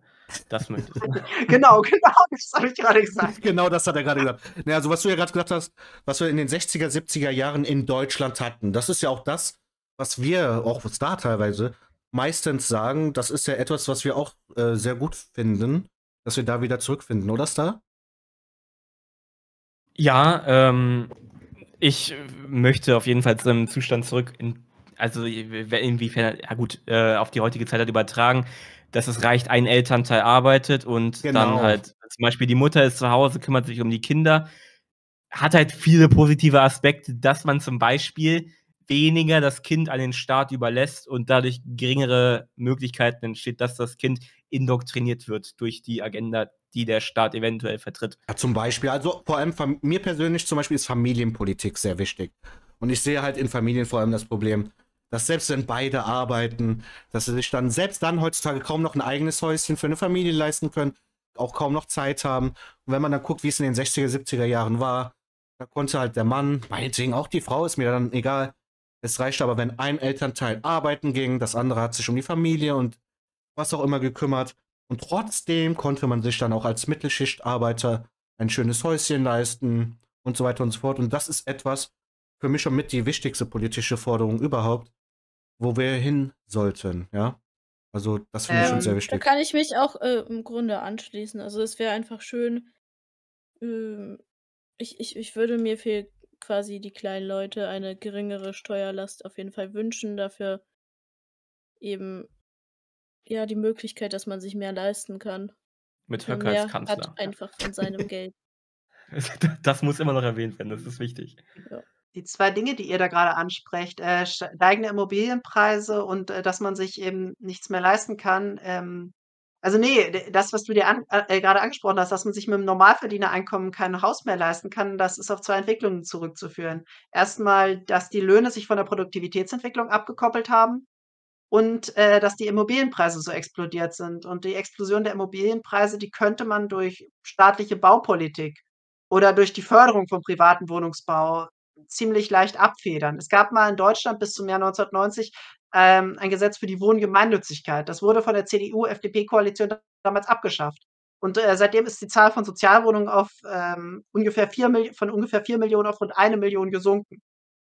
Und ähm, ja, wie gesagt, dass die Löhne sich von der Produktivität entkoppelt haben, das hat viel mit der Steuergesetzgebung zu tun. Lisa Fettsack hat gerade im Chat geschrieben, Wagenknecht würde eine 80-prozentige Vermögens- und Reichensteuer dagegen fordern. Also ganz ehrlich, das wird ein sehr alter Vorschlag sein. Heute sind ihre Vorschläge eigentlich nicht mehr so radikal. Aber eine so hohe Vermögensabgabe, also eine einmalige Vermögensabgabe für hundertfache Millionäre und Milliardäre, die wäre erstmal gut, um die Explosion der Vermögensungleichheit der letzten 40 Jahre wieder einzufangen. Aber ist doch schwierig. Also auch aus, guck mal, selbst aus meiner Sicht, und ich bin weit davon entfernt, äh, ein Millionär zu sein oder jemals einer zu werden und so weiter und so fort. Ähm, trotzdem halte ich es halt nicht für fair zu sagen, ja gut, der ist jetzt äh, reich, gehen wir doch einfach hin und nehmen ihm sein Geld weg. Verstehst du, was ich damit meine? Ja, aber der, der Moralisch reich ist, der gesehen? muss weniger von seinem Geld abgeben als du. Warum? Also, Inwiefern? ja, ähm, Netzwerk Steuergerechtigkeit hat ausgerechnet, dass der ähm, Steuersatz eines äh, durchschnittlichen Millionärs bei ungefähr 24 Prozent, äh, der eines durchschnittlichen Ar oder etwas überdurchschnittlichen Arbeitnehmers bei 48 Prozent liegt. Also der Sto Aber warum Millionär ist das so? äh, weil die Steuergesetze in den letzten Jahrzehnten so ähm, geändert wurden. Unter Helmut Kohl, da hätten Millionäre noch Steuersätze von über 50, über 60 Prozent äh, zahlen müssen. Heute Steuersätze zwischen 20 und 30 Prozent. Also man hat beispielsweise Kapital, also ge- irgendwann gesagt, Kapitalerträge, die werden jetzt nicht mehr wie normales Einkommen besteuert, sondern die werden pauschal mit 25 Prozent besteuert. Man hat die Vermögensteuer äh, auslaufen lassen. Man hat äh, verschiedene Erbschaftssteuerreformen ausge ähm, durchgeführt, die vor allem sehr, sehr hohe Vermögen an der Erbschaft, also womit sich sehr, sehr hohe Vermögen sehr leicht an der Erbschaftssteuer vorbeischaffen lassen. Also das Beispiel, was ich da immer gebe, ist, als äh, Friede Springer ihre Springer-Aktien an Matthias Döpfner verschenkt hat. Da musste keine Erbschaftssteuer drauf bezahlt werden. Weil, ja, weil es eben Schlupflöcher gibt, die das verhindern. Das heißt, wenn du sehr, sehr viel erbst, dann musst du darauf weniger Steuern bezahlen, als wenn du jetzt ähm, ein etwas teureres Haus erbst. Das finde ich, finde ich tatsächlich beides. generell dann, gegen die also genau, genau darauf will ich quasi hinaus. Wenn es ein ganz kleiner Betrag ist, kann man noch drüber streiten, ne? Aber generell, wenn ich jetzt überlege, ne, als äh, Familienmensch und so, natürlich will ich die Dinge, die ich erreiche in meinem Leben, ob es jetzt viel oder wenig ist, äh, meiner Familie hinterlassen. So, deswegen, ich finde es natürlich unfair, wenn ich jetzt von dir höre, äh, dass äh, solch jemand wie ich, ein normaler Arbeiter oder so, dass der fast 50% abgeben muss und ein Reicher weniger als das abgeben muss, prozentual gesehen. Finde ich unfair. Da würde ich schon sagen. Ähm, aber dann würde ich halt eher sagen, ja gut, dann soll halt ich, äh, der normale Arbeiter in dem Fall, der soll dann einfach auch weniger abgeben. Die Konsequenz wäre für mich jetzt nicht zu sagen, ja, äh, der Reiche muss jetzt irgendwie 80% oder so abgeben. Weißt du, wie ich meine? Ja, beides. Beides. Also man kann die Steuerlast in der Mitte viel, viel mehr senken, wenn man sie oben erhöht. Vor allem, da wir, wie gesagt, so, eine starke, so einen starken Anstieg der Vermögensungleichheit gesehen haben. Vor allem, du hast gesagt, man, äh, man möchte ja an die nächste Generation was weitergeben. Wenn du ein Aktienportfolio im Wert von 10 Milliarden Euro vererbst, also da wird es dich nicht stören, wenn man da, wenn du nur noch 2 Milliarden Euro vererbst. Also dein Kind ist immer noch Milliardär. Ja, aber 80% finde ich halt krass.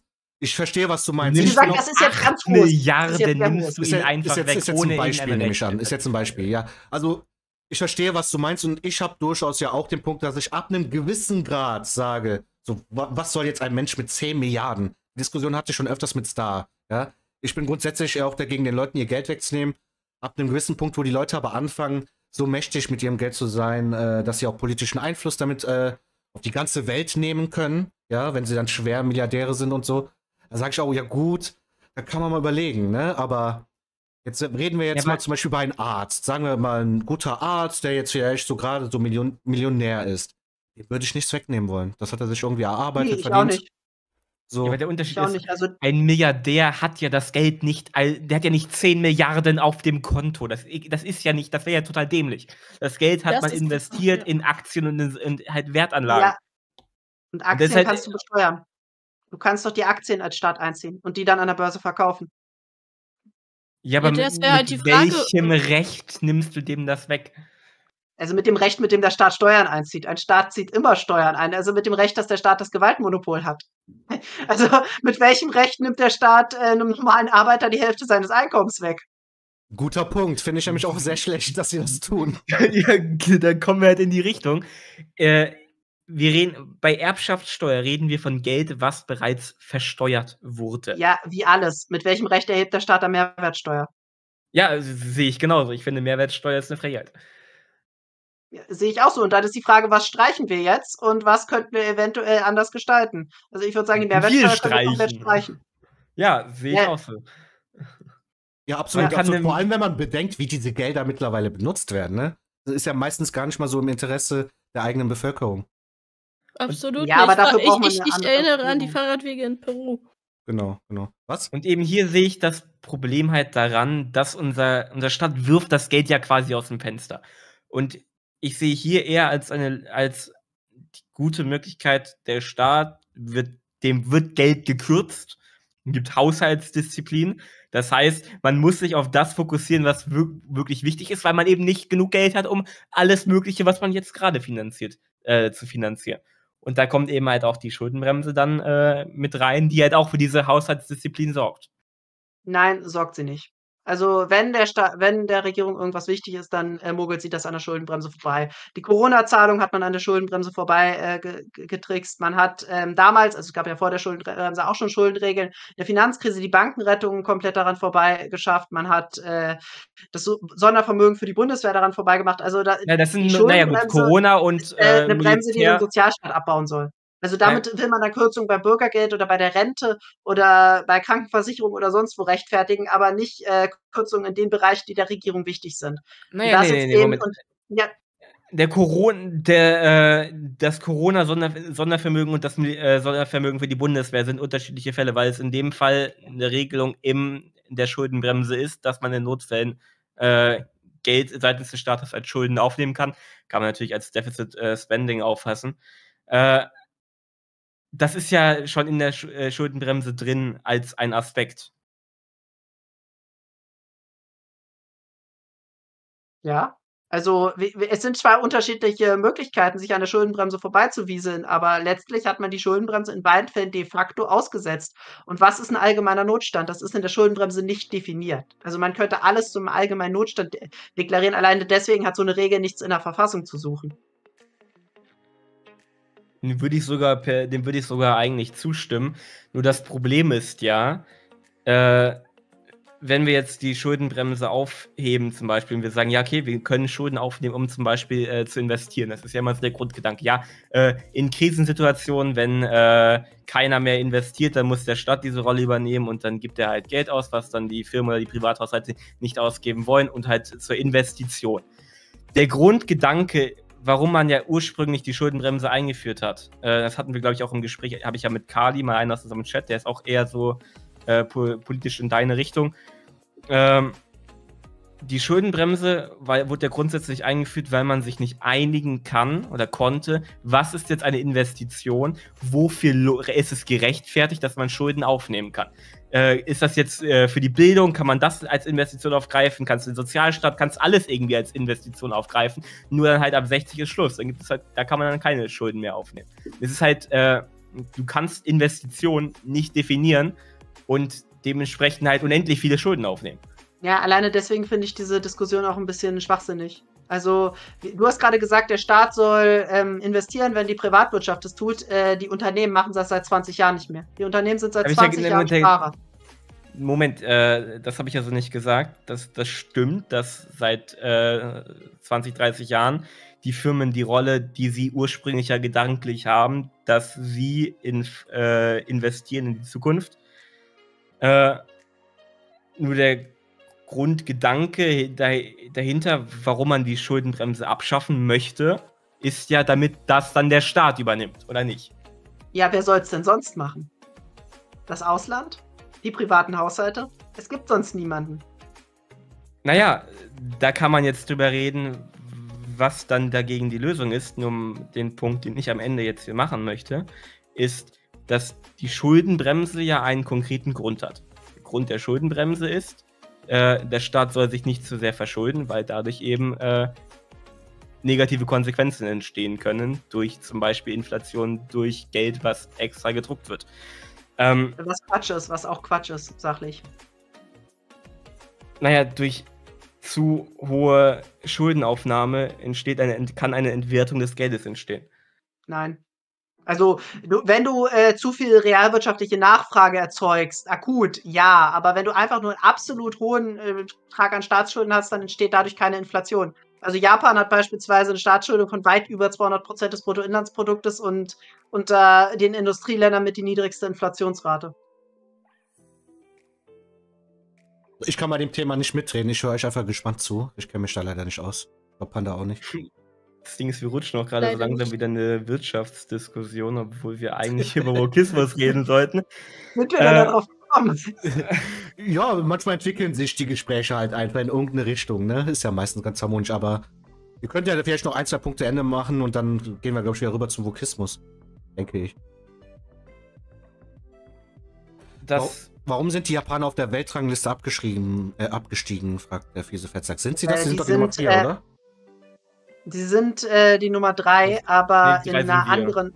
Nein, nein, das ist, eine, nein, das ist die, das ist die äh, Rangliste, wo du die Wechselkursschwankungen äh, für die Wechselkursschwankungen drin hast. Wenn du dir langfristige BIP-Vergleiche angucken musst, dann brauchst du das konstante ähm, kaufkraftbereinigte BIP. Das heißt, du solche Wechselkursschwankungen, die müssen da raus. Und die, ähm, es gibt gerade massive Carry Trades auf den internationalen Währungsmärkten. Das heißt, äh, ganz viele Carry Trader, die leihen sich gerade Geld in Yen, wo sie niedrige Zinsen zahlen müssen und legen das dann in Dollar oder Euro, wo sie mehr Zinsen bekommen, an und dadurch steigt der Wechselkurs des Euro und der Wechselkurs des Yen sinkt. Das hat realwirtschaftlich nur einen Effekt. Also die Inflation in Japan ist ein bisschen höher, also auch nicht relevant. Die ist da bei 3%, also nicht viel höher als bei uns. Und äh, die japanische Exportindustrie gewinnt massivst an Wettbewerbsfähigkeit. Das heißt, Japan erlebt gerade einen Exportboom durch diese Yen-Schwäche. Das heißt, realwirtschaftlich nutzt das Japan sogar eher. Also dieser Wechselkurseffekt, das ist ja nur ein kurzfristiger Effekt. Wenn Japan jetzt ordentlich Leistungsbilanzüberschüsse macht, und äh, die Wirtschaft in der Eurozone weiter abschmiert, dann wird der Yen sich auch ähm, wieder auf die alten, auf die alten Stände zurückbewegen. Also kein Land kann dauerhaft so, ein, ähm, so eine ähm, schwache Währung haben, wenn es äh, so hohe Überschüsse hat. Also das, das geht nicht lange gut, zumal die EZB angesichts der Sch äh, Schwäche der europäischen Wirtschaft die Zinsen sehr bald wieder senken wird müssen. Also die Carry Trader, die können temporär Wechselkurse verzerren, aber das ist keine, kein dauerhaftes Ereignis. Okay, ich würde dann so langsam, weil wir sind schon sehr lange bei dem Wirtschaftsthema, nochmal kurz zurück, vielleicht auch Richtung Bündnis Sarah Wagenknecht und vielleicht auch im Osten, weil das jetzt relativ interessant sein wird. Ich meine, dass Bündnis Sarah Wagenknecht jetzt auch äh, angekündigt haben, also zumindest Wagenknecht selbst, dass man auch bereit ist, im Osten, im Thüringen mit der CDU zu koalieren, um eine Regierung der AfD zu verhindern. Was sagst äh, du dazu? Wie äh. sinnvoll ist es, mit der CDU zu koalieren? Wo haben die das angekündigt? Ich habe das eben gerade sogar äh, einmal gegoogelt. Gib mir mal den Artikel. Das wäre absolut problematisch, wenn das da irgendwer gesagt haben soll, sollte. Diesen Idioten sollte man dringend aus jeder politischen Wagenknecht würde Koalition mit der CDU dann kann ich das, dann kann ich das also vielleicht die Medien, äh, einblenden. Die Medien, die schreiben Themen. sehr häufig sehr viel Unsinn. Deswegen schick mal bitte den Link und die Zitate, mit denen das belegt wird. Wobei, nee, ich kann jetzt nichts einblenden, weil ich äh, Discord gerade streame. Also, da will ich jetzt nichts ändern. Äh, sagt's einfach also ich habe es in Themen gepostet, den Channel solltest du sehen können. Im, in äh. unserem Server. Müsste ein neuer Tab sein mit äh, ist das. Die Frage, sag, das wäre für mich jetzt eine neue Nachricht. Da, die Frage ist, steht da auch, hat sie konkret gesagt, um die AfD zu verhindern? Das hast du ja gerade so gesagt. Äh, im Zweifel, Moment hier, im Zweifel ist es vielleicht besser, als wenn Kretschmer mit der AfD regiert, heißt es. Ja gut, dann bietet äh, sie Wo sich heißt an. es das? Hat sie das gesagt oder? Sagt sie weiter, ja, es geht um das, was Wagenknecht gesagt hat. Das war ein Zitat. Schau, Schau es dir ruhig selber mal an. Er hat den Link Ah, ja bei Tages äh, im Tagesspiegel oder was? Aus dem Das ist Oktober, der Artikel. Tagesspiegelartikel, den ich äh, Ah. gelesen habe. Ist, sie wird zitiert. Äh, Wie sonst. ich habe lange mit mir gerungen, war hin und her gerissen. Sagte sie im Interview mit der Zeitschrift Super Ilu, was auch immer das sein Ja, aber in Bezug auf die Parteigründung.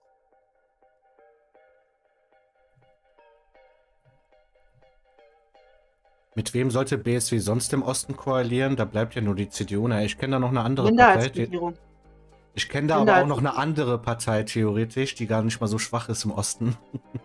Naja, die, naja, alles, was wir von der Wagenknecht-Partei gerade mitbekommen haben, auch hier dieses äh, Bündnis Sarah Wagenknecht, haben ja, wurde ja immer konkret gesagt, wir werden nicht mit der AfD koalieren. Ich meine, deren einer Typ da, der da gesessen hat, hat konkret auch gesagt, dass sie die Partei gegründet haben, weil die AfD so stark ist.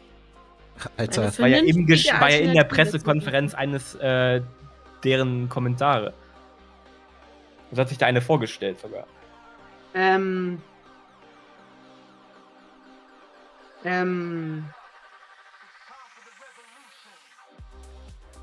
Ja, aber das beruht auf Gegenseitigkeit. Also Alice Weidel hat auch schon gesagt, dass eine Koalition mit der Wagenknecht-Partei ausgeschlossen ist, und zwar bevor diese Partei überhaupt gegründet war.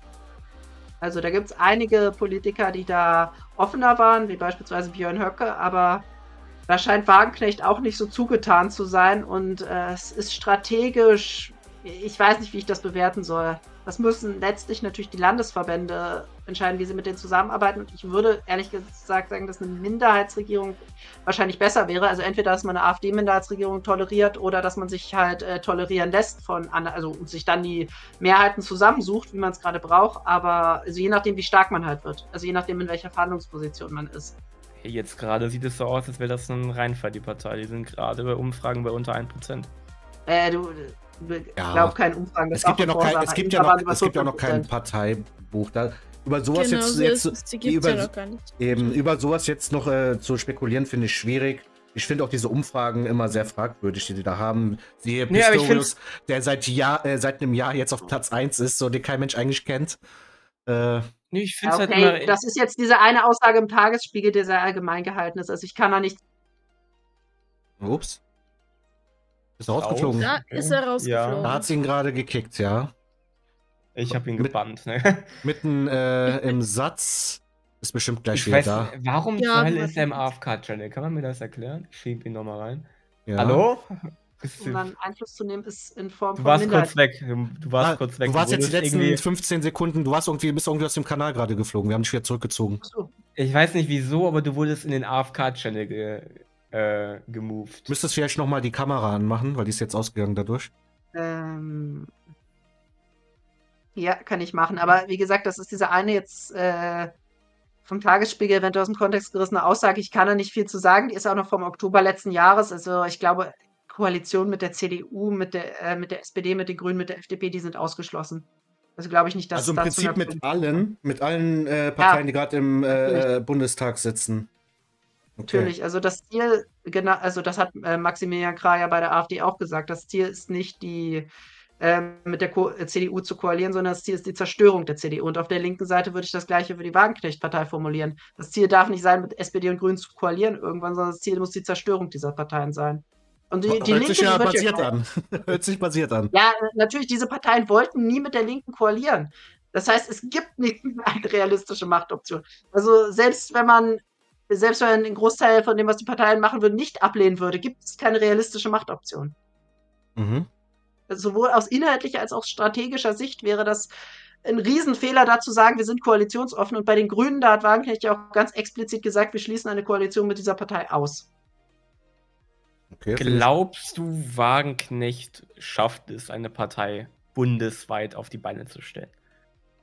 Ich hoffe es. Und du musst Also auch man kann deine Kamera anstellen, by the way. Äh, ja, ja, ich bin hier gerade in Discord am Suchen. Ich bin Okay. technisch auch nicht. Wir sind auch alles Technikboomer hier, keine Sorge.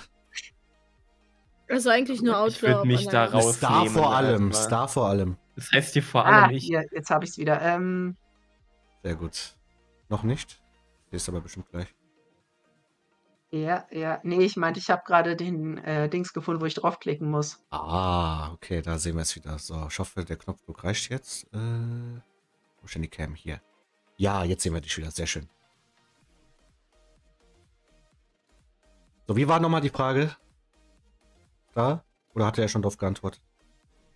Ja, er hat dir gesagt, du, er hofft es. mhm. Okay. Ja, so, da, sonst würde ich sagen, mal wieder zurück zum Vokismus.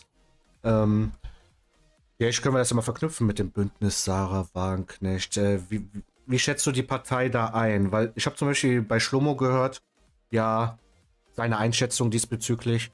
Ähm, die sind wohl ein bisschen dagegen, aber wahrscheinlich nicht genug. Äh, Ihn stört es, dass sie nur die Cancel Culture kritisieren. Und äh, da verkennt er, dass die Cancel Culture das wichtigste Machtinstrument der Wokisten ist. Denn der größte Feind der Wokisten ist nicht irgendeine konkrete Partei oder Bewegung, sondern der größte Feind ist der freie Diskurs. Ich habe es ja schon gesagt, selbst so Leute wie KuchenTV, die relativ unpolitisch sind, können die Wokisten spielend leicht auseinandernehmen, äh, weil sie keine Argumente haben. Deswegen also, gehen sie auch in keine Gespräche, genau. Ja, ja.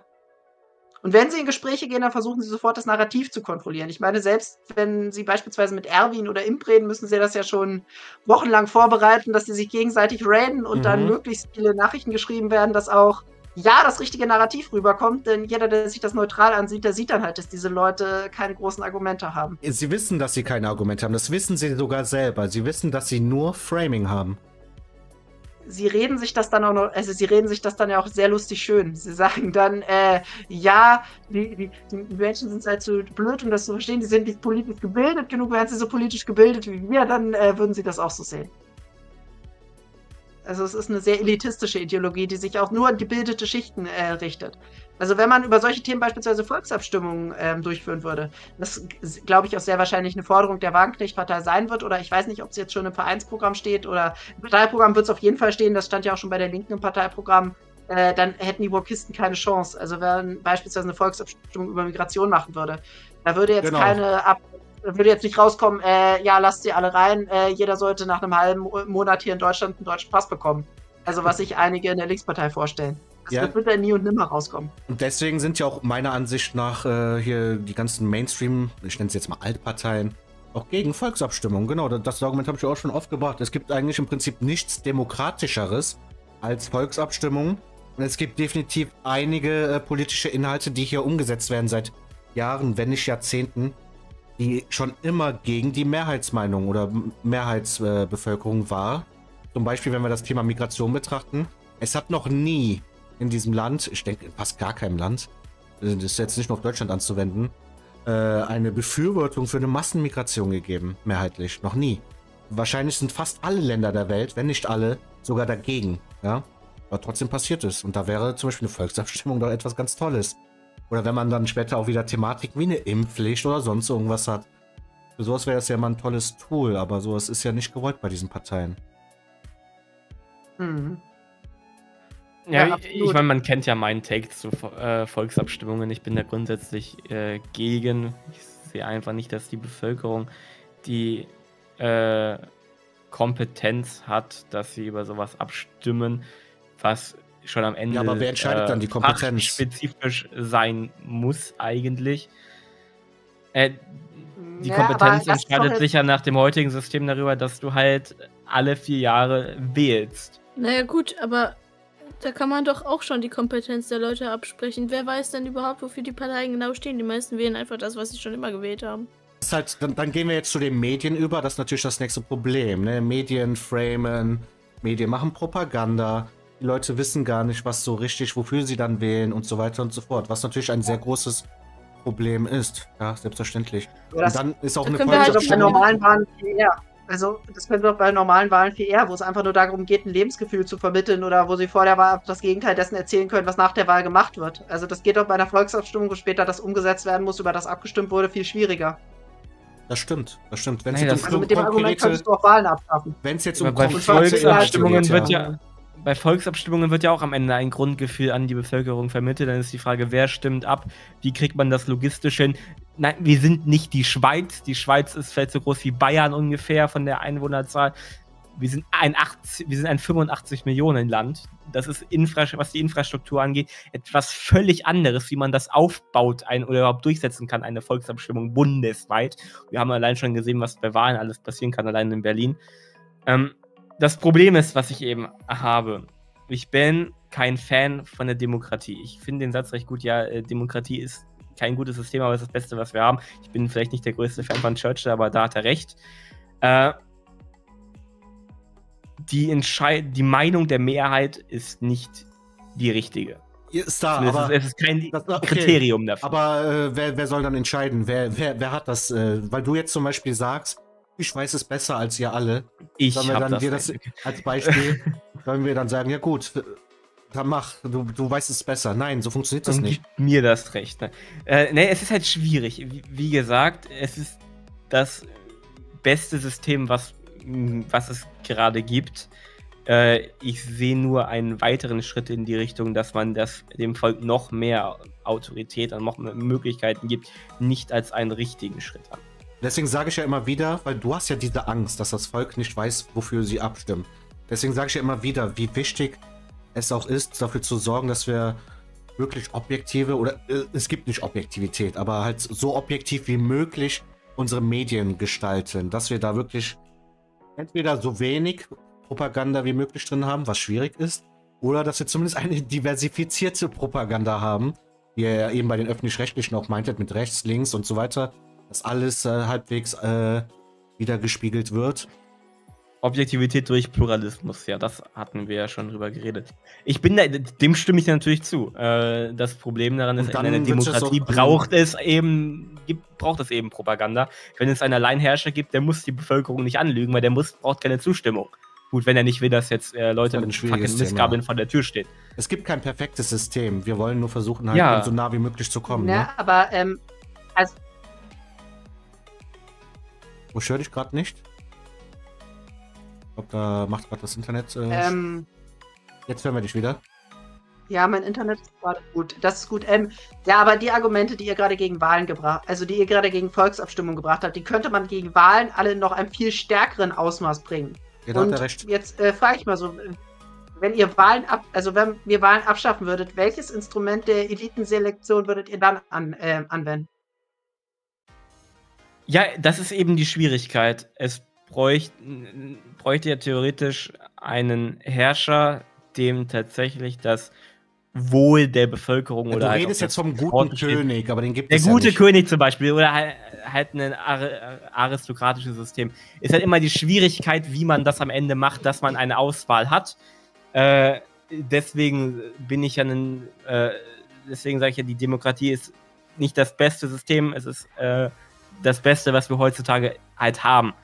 Und wir haben jetzt Wahlen festgelegt. Jetzt ist die Frage, sollte man das System dann noch weiter ausbreiten als das, was wir jetzt schon haben? Ja, aber dieses Mischmasch, was wir ja gerade haben, ja, ist ja quasi das Schlechteste von beiden Welten, was wir gerade theoretisch haben, Star. Also, äh, da bin ich dann tatsächlich doch für mehr Demokratie. Ich schreibe gerade, ich lese gerade im Chat, der Pilot hat äh, geschrieben, für ihn ist es wohl auch eine Scheindemokratie im, im Momenten, äh, momentanen Zustand. Den Take habe ich ja tatsächlich auch mal gebracht, da werdet ihr euch dann erinnern, Panda und Star. Da habt ihr mich ja voll für angefeindet. Oder zumindest Nö. der Chat. Der Chat zumindest. Ähm, ich sehe es halt. Das ist eine ich, Definitionsfrage. Ja, ist eine Definitionsfrage, aber ich sehe es halt ja. nicht. Für mich ist es halt eine Scheindemokratie, wenn ich sehe, dass die Mehrheitsbevölkerung seit Jahrzehnten oder eigentlich schon immer zum Beispiel gegen Massenmigration ist, sie einem aber trotzdem seit äh, Jahrzehnten aufgezogen wird. Und das haben wir auch in anderen Thematiken. Die wichtigen Fragen, nicht, werden ganz selten von der Bevölkerung getroffen. Und wo ist das dann demokratisch? Da darfst du aber auch nicht vergessen, die Bevölkerung hat das gewählt. Ja, aber. Die Grünen ja, aber hatten bei der letzten Wahl 18% oder sowas. Ja, und vorher war Merkel ja, als konservative CDUler gewählt und die hat es auch gemacht. Und wurde, danach wurde die CDU trotzdem noch weitergewählt. Entschuldigung, ähm, du wolltest was Anteil. sagen, Agitator? Was wolltest du sagen? Ja, die gleiche Frage, die du gerade gestellt hast. Welche Alternative hatten die Menschen? Also die AfD, die gibt es ja erst seit zehn Jahren. Und äh, auf der linken Seite, da gibt es ja gar keine Alternative zu dieser ähm, Politik. Also jetzt wird die Wagenknecht-Partei gegründet, aber da sieht man doch, wie, wie verzögert das kommt. Also wenn einfach Unterschriften sammeln und eine Volksabstimmung hätte machen können, dann wäre das doch viel schneller gegangen. Bleiben wir halt wieder bei den Problemen, die damit einhergehen. wir stellen uns vor, wir haben eine äh, Volk, wir haben Volksabstimmungen, dann heißt es, man braucht enorme Aufwände, dass man sie bundesweit einsetzt. Es wäre einmalig. Es gibt keinen anderen Staat, der das hat.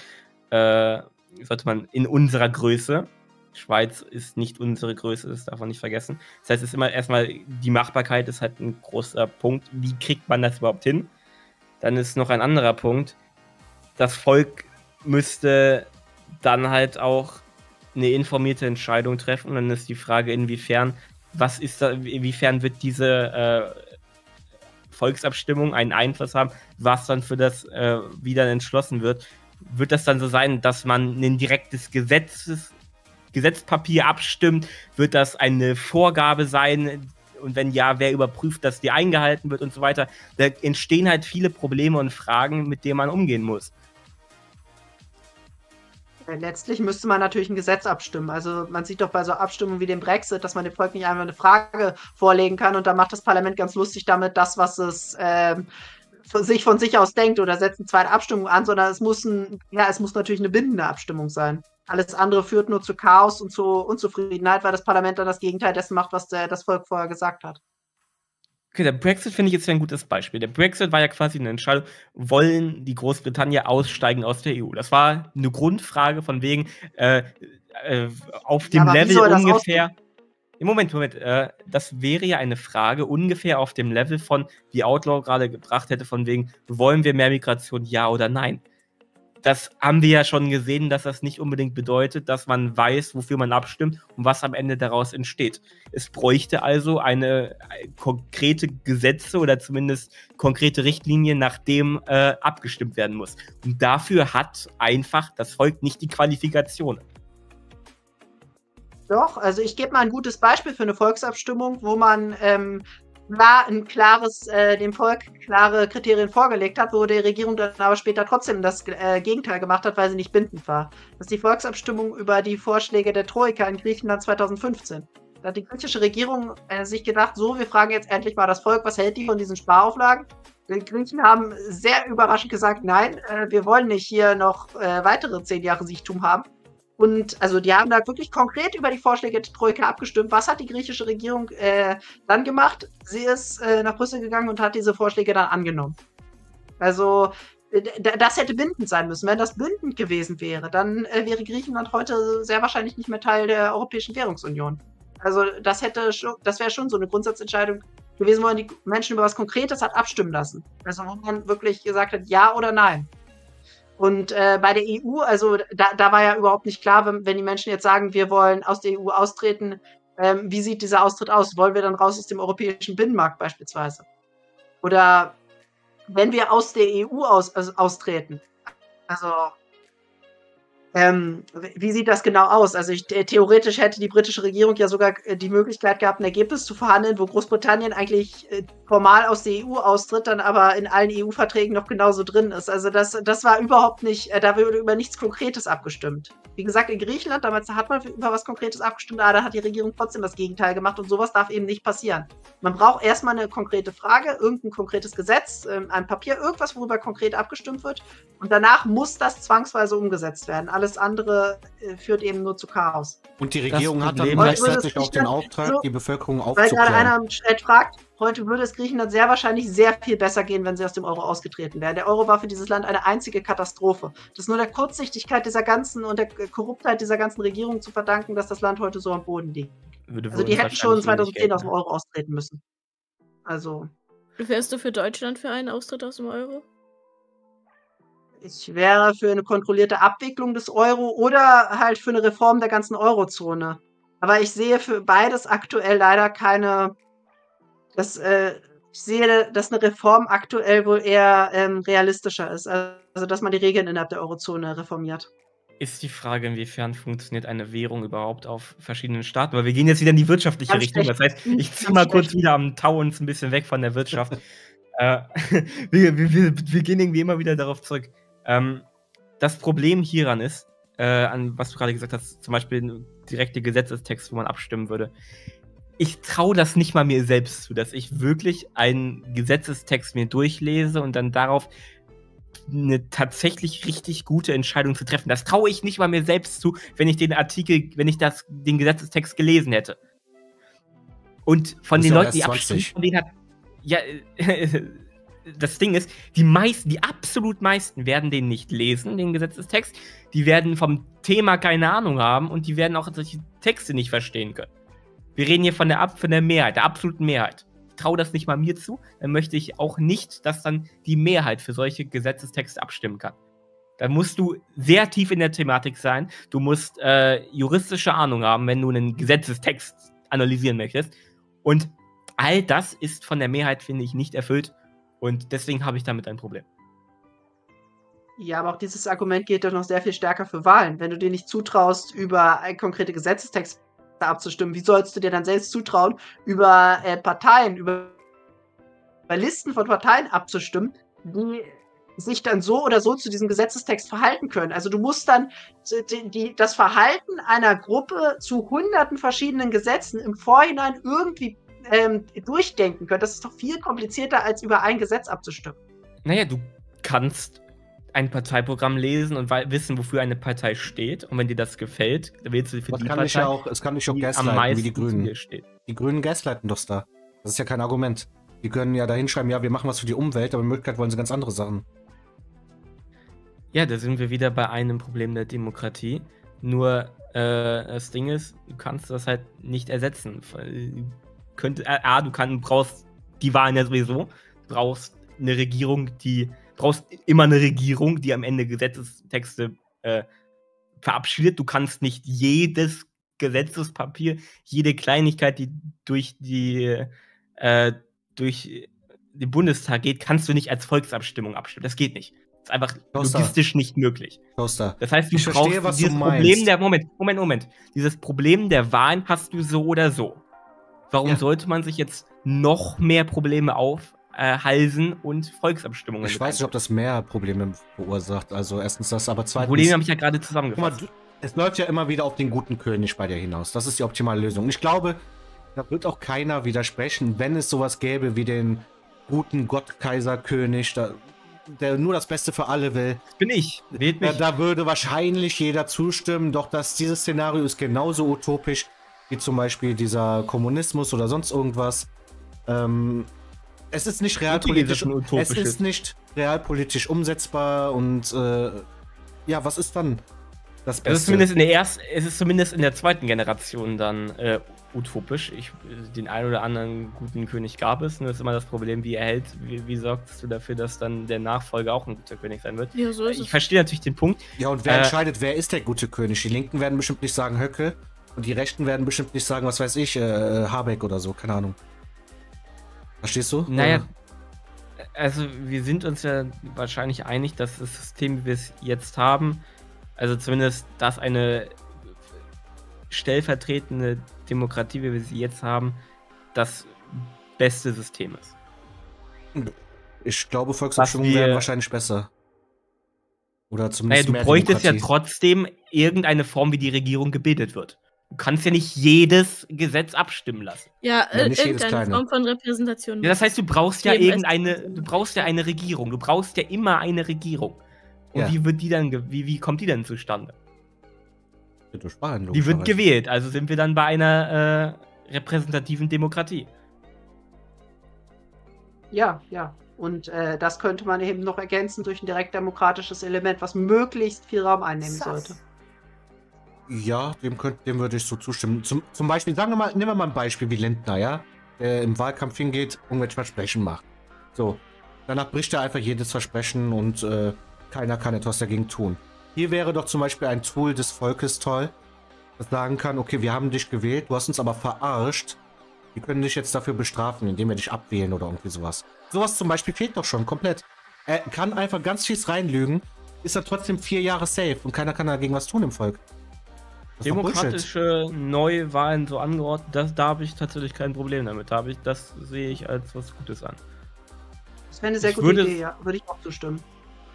Ich würde sogar so weit gehen, dass ich eher ein Befürworter eines Zwei-Parteien-Systems bin, wie halt in Amerika.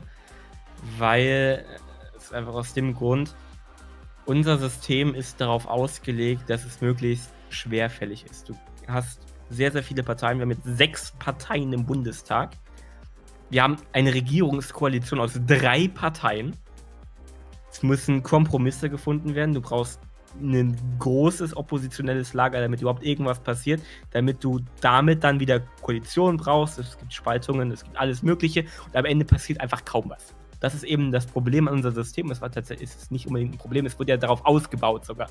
Das war ja wahrscheinlich, das war ja der Grundgedanke, warum wir ein System haben, wie es jetzt ist, damit es möglichst schwerfällig ist, damit möglichst wenig passiert. Hm. Das amerikanische System hat halt den Vorteil, du wählst deinen Kandidaten, also du hast quasi, stellen wir uns vor, wir hätten eine Vorwahl erstmal zwischen CDU, AfD, äh, in vielleicht gewissen Teilen FDP und die Heimat und daraus wird dann der Kandidat der AfD gewählt. Auf der anderen Seite haben wir dann die SPD, die Grünen, Teile der, der FDP als äh, deren Woker-Flüge und halt die, die jetzige Linkspartei. Und daraus wird dann ein SPD-Kandidat gewählt und dann stehen die zur Wahl und am Ende wird dann äh, der AfDler Präsident. Also eine Präsidialdemokratie möchtest du? Unter, andere, ja. unter anderem würde ich, ja. finde ich das als kein schlechtes System, aber auch halt, dass du ein Zwei-Parteien-System hast, dass du quasi zwei Seiten hast, um halt. Ich würde sagen, das ist der entscheidende Punkt. Also das ist der entscheidende Punkt, die Präsidialdemokratie. Es gibt ja viele andere große Staaten, wie beispielsweise Frankreich, man könnte jetzt auch weniger demokratische Staaten wie Russland oder die Türkei nennen, die Präsidialdemokratien äh, sind, äh, oder wie gesagt, Russland und die Türkei kann man jetzt drüber streiten, weil die ziemlich rabiat gegen ihre Opposition vorgehen und wo die, der Präsident sehr viel handlungsfähiger ist als hier in Deutschland der Bundeskanzler. Aber da muss man, wie gesagt, über eine Präsidialdemokratie reden und nicht über ein Zwei-Parteien-System. Also dieses Zwei-Parteien-System in den USA, das führt ja zu einer Oligarchisierung. Also es führt dazu, dass du zwei Parteien hast, die am Ende das Gleiche fordern. Und egal, wer dann da Präsident ist, äh, die also die Politik wird vom gleichen korrupten Beamtenapparat, vom gleichen Apparat aus Lobbyisten ähm, und Konzernvertretern gemacht wie bei der anderen Partei. Also das, das führt ja genau zu einer noch weiteren Enddemokratisierung und das führt eben nicht zu einer besseren Elitenselektion. Also auch in der US-Politik sind ja jetzt nicht die kompetentesten Leute dadurch nach, nach vorne gekommen, dass man gesagt hat, wir machen jetzt nur noch zwei Parteien. Ja, es gibt halt natürlich für jedes System am Ende Vor- und Nachteile. Ein großes Problem halt bei den Amerikanern ist, das ist ein Riesenland. 350 Millionen Einwohner. Es gibt halt auch mehr politische äh, Haltungen als nur zwei, muss man dazu auch sagen, ne? Naja, am Ende hier würde es halt, äh, würde sich eine der politischen Haltungen immer durchsetzen. Durch halt den Präsidenten. Der halt ja, aber es gibt ja mehr als zwei, will ich damit sagen. Also es gibt ja durchaus auch konservative Linke, progressive Rechte, konservative Rechte, progressive Linke. Zentristen. Naja, es gäbe ja für jeden einen Kandidaten. Also. Ja, aber wenn beide Parteien das Gleiche wollen, dann hast du eine Haltung in zwei Parteien. Dann hast du keine anderen Parteien, die mehr hm. dazukommen. Trump würden. hat schon eine sehr große äh, äh, Diskursänderung vorgenommen. Ja, er Trump, ja, das ist jetzt das erste Trump Beispiel in den letzten, jetzt, also seit äh, Franklin D. Roosevelt haben wir ja keinen äh, deutlichen Schwenk mehr in der US-Politik äh, gesehen. Also ja, wir haben auch. Was wahrscheinlich auch so gewollt war. Aber wann, ja, okay, wann hat man das bei Deutschland das letzte Mal richtig gesehen? Mit äh, In Ronald eine positive Richtung. Ja, ja, ja, das stimmt, das stimmt. Also du kannst, äh, das kannst du bei unserem parlamentarischen System definitiv auch kritisieren, dass das nicht in der Lage ist, äh, große politische Kurswechsel einzuleiten. Also wie gesagt, Franklin D. Roosevelt, dann Ronald Reagan, wobei man sagen muss, der Neoliberalismus, der wurde schon in Thinktanks überall äh, zehn Jahre vorbereitet, bevor Ronald Reagan an die Macht gekommen war. Das ist hinter den Kulissen abgekartet gewesen. Und man hat ja gesehen, als die Demokraten dann an der Macht waren unter Bill Clinton, hat sich daran nichts geändert. Also da hatten Wahlen auch nur einen sehr begrenzten Einfluss auf die Einführung des Neoliberalismus. Aber ja, wie gesagt, die einzige große Wende, die ich jetzt durch Wahlen wirklich ausmachen kann, also explizit durch Wahl, ist äh, Roosevelt eigentlich. Wir haben jetzt einen Trump, der zum Beispiel selbst sich auch offen hinstellt und sagt, dass das System gerickt ist und sowas. Das wäre ja bei uns wäre das ja komplett undenkbar in jeder Hinsicht. Und dann haben wir noch äh, mittlerweile ja bei den Republikanern ein deutlich sehr, sehr, sehr, sehr starkes Anti-Woke-Lager. Wir haben einen DeSantis, der jetzt so ein, ja, der ist schon auch gut dabei. Wir haben einen Trump, der natürlich eine, eine Ikone ist. Und wir haben einen Vivek, der ja richtig reinhaut, den ich sehr, sehr geil finde. Und die sind ja sehr, sehr stark gegen die Wokeness und einen Vivek, der seine, seine Finanzierung größtenteils durch sein eigenes Geld macht. Der hat, äh, von, der hat mehrere Millionen seines eigenen Geldes in seine, äh, seinen Wahlkampf gesteckt. Ähm, da passiert deutlich mehr als bei uns. Muss man ja, so aber sagen. in den USA ist der Wokismus auch viel, viel mächtiger. Das ist ja das Mutterland äh, des Wokismus. Also da, das ist ja an US-Universitäten entstanden, diese ganze Ideologie und auch zuerst durchgesetzt worden. Wir sehen ja mittlerweile, wie in den USA an einzelnen Unis nach Ethnien äh, Bewerber ausgesucht werden. Also dass man gesagt, wir wollen so und so viele Schwarze, so und so viele Asiaten. Ja, es völlig irre ist. Also sowas gibt es ja bei uns noch nicht. Noch nicht, ja. Also wir sehen ja, dass das in den USA so viel weiter fortgeschritten ist, dass das natürlich auch eine stärkere Gegenreaktion provoziert. Wobei es bei uns ja natürlich auch anfängt, weil also, es gab Ja. doch dieses Museum, das nur für Schwarze aufgemacht hat. Es kommt so auch hierher immer kommt. mehr, aber es ist halt immer so ein paar Jahre, wenn nicht ein Jahrzehnt oder so verzögert, ne? Ja, das merkt Worauf ich ja aber auch hinweisen will, was da vielleicht manchmal auch nicht so sieht, wo man auch vorsichtig sein muss, ist, dass es natürlich dann auch durchaus mal populistisch verwendet werden kann, äh, gegen den Vokismus zu sein. Da muss man natürlich gucken, wie ehrlich ist das gemeint, was für Absichten sind denn dahinter politisch gesehen. Das ist jetzt ein Libertärer und bla bla bla, so Sachen gibt es natürlich auch. Also nur, nur weil jemand gegen den Vokismus spricht, heißt es jetzt nicht automatisch, dass das hier der Retter ist. Das will ich damit nur sagen. Weil du zum Beispiel jetzt so ein großer Fan auch von dem neuen da bist. Wie heißt der nochmal? Der Inder, glaube ich, war das, ne? Ja, bei dem Vivek. bin ich mir zum Beispiel nicht ganz sicher, aber weiß man halt nicht. Muss man Und doch, also ich habe von dem sehr, sehr, sehr viel gesehen. Äh, zum Beispiel jetzt in Colorado, wo ja jetzt ein Trump disqualifiziert wurde, hat sich äh, Vivek selbst auch zurückgenommen und hat die anderen aufgefordert, dass sie ebenfalls äh, zurücktreten in äh, Colorado zur Vorwahl, also den Pre-Terms. Alles, was ich von dem gesehen habe, und ich habe schon einiges gesehen, äh, eigentlich nichts, wo gab es nichts eigentlich, woran ich zweifeln konnte dass der wirklich überzeugt auch gegen die Wokeness vorgeht. Der haut auch einige gute Dinge raus. Er hatte zum Beispiel, was man vielleicht auch mal anschauen kann, der hat mal einen. Ja, mal einen so tief Elon reingehen. Musk. Nee, das ist wirklich eine Empfehlung. Da haben die dann mal zusammen, ich glaube, das würde auch hier äh, Agitator der sozialen Marktwirtschaft interessieren. Da haben die zusammen über, äh, also Elon Musk und Vivek, über BlackRock und äh, State Street und sowas geredet. Ist auf jeden Aha. Fall eine Empfehlung. Okay, Leute, die sich das trauen, die, die kann ich schon ein bisschen ernster nehmen, ja. Ist nämlich ein wichtiges Thema. Ich glaube, da würdest du uns zustimmen, Agitator. BlackRock und diese ganzen Thematiken, dass sie schon Ja, großen ja. Einfluss haben. Definitiv, definitiv. Zu großen. Macht's Ja, gut. deswegen ihr- wäre ihr- auch eine hohe Besteuerung von sehr hohen Vermögen etwas, was man anstreben sollte.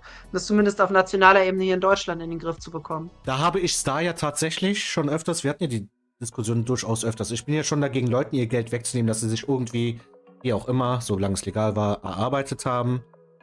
Aber äh, die Frage habe ich dann Star immer wieder gestellt, ja gut, aber wir haben ja das Problem mit so diesen Geldgebern, NGOs und so. Was ist da die Lösung? Und da hatten wir dann tatsächlich keine richtige Antwort, wie man da wirklich gegen vorgehen kann, ne? Wenn die Leute da mit ihrem Geld durchdrehen, politisch gesehen.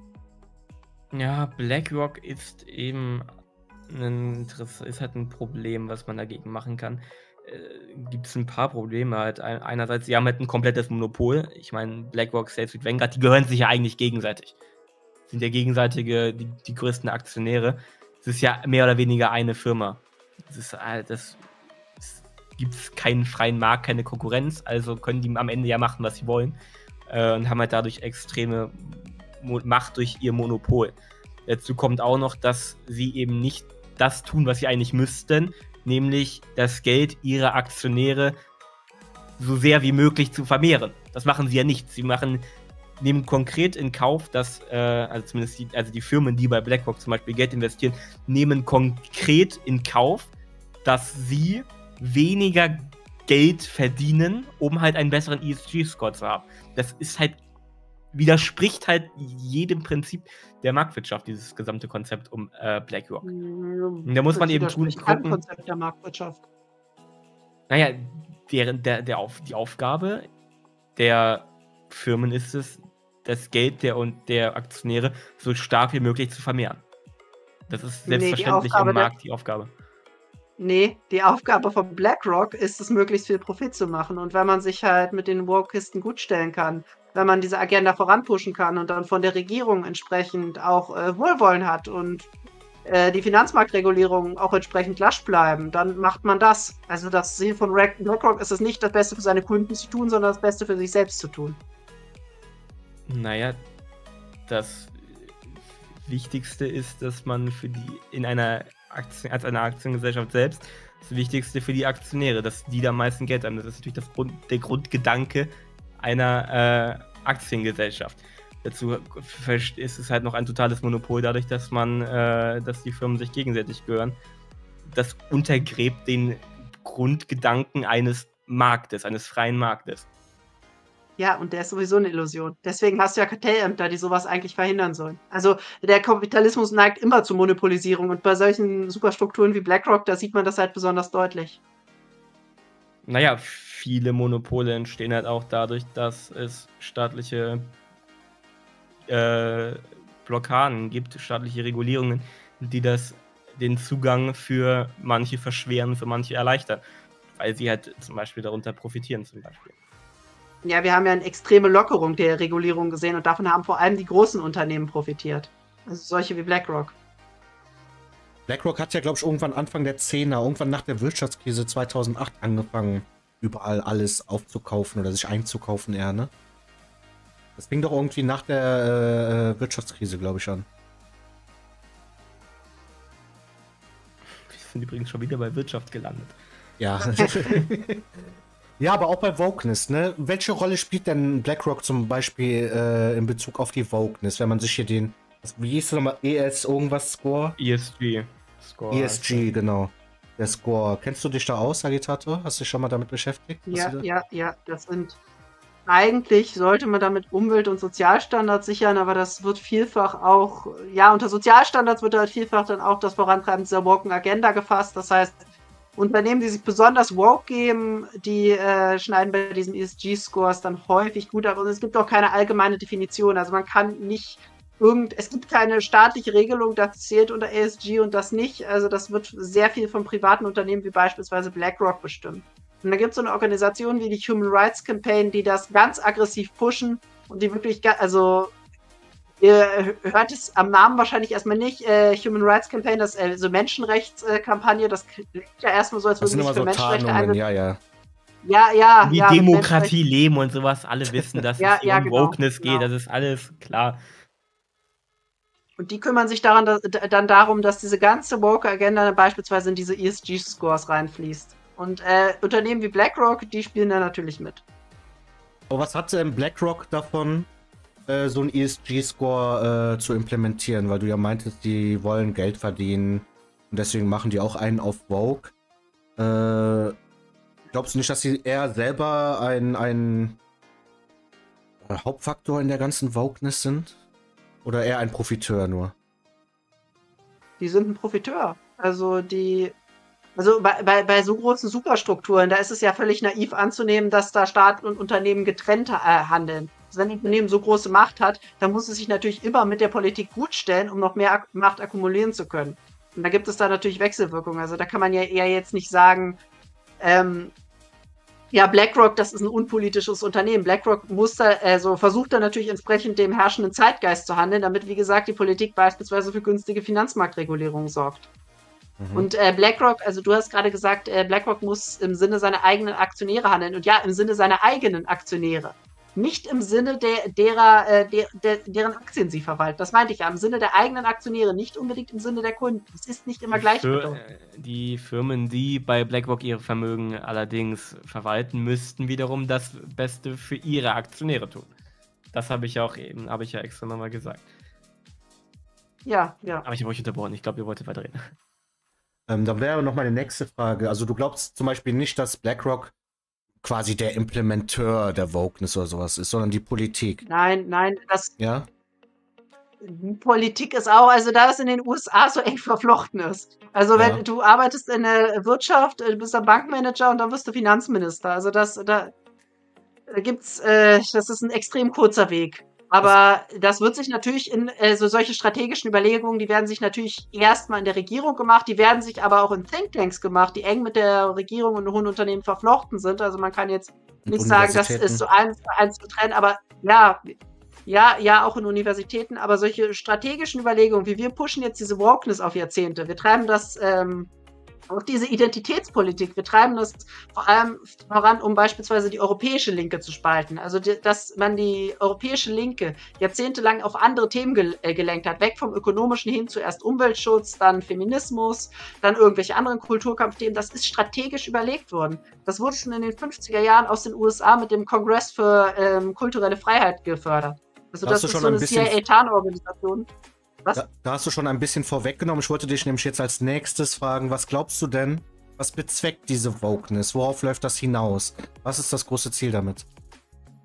Es ist ein ähm, Herrschaftsinstrument. Also erstmal kann man damit äh, die Gesellschaft spalten. Man kann man, man kann äh, sie in Untergruppen spalten, man kann sagen, hier, hier habt ihr äh, diese woke Ideologie, wenn ihr euch für das Gute einsetzen wollt. Und für alle, die das ablehnen, hier habt ihr eine schöne rechtskonservative Politik, die das ablehnt, die dann aber genauso neoliberal, genauso im europäischen Fall transatlantisch ist wie die andere Seite. Also man hat da zwei, zwei Seiten, die das gleiche wollen. Das sieht man in Deutschland sehr gut. Also die CDU, die versucht sich ja gerade als Anti-Woke zu inszenieren, ist aber wirtschaftspolitisch, außenpolitisch auf genau der gleichen Linie wie die Grünen.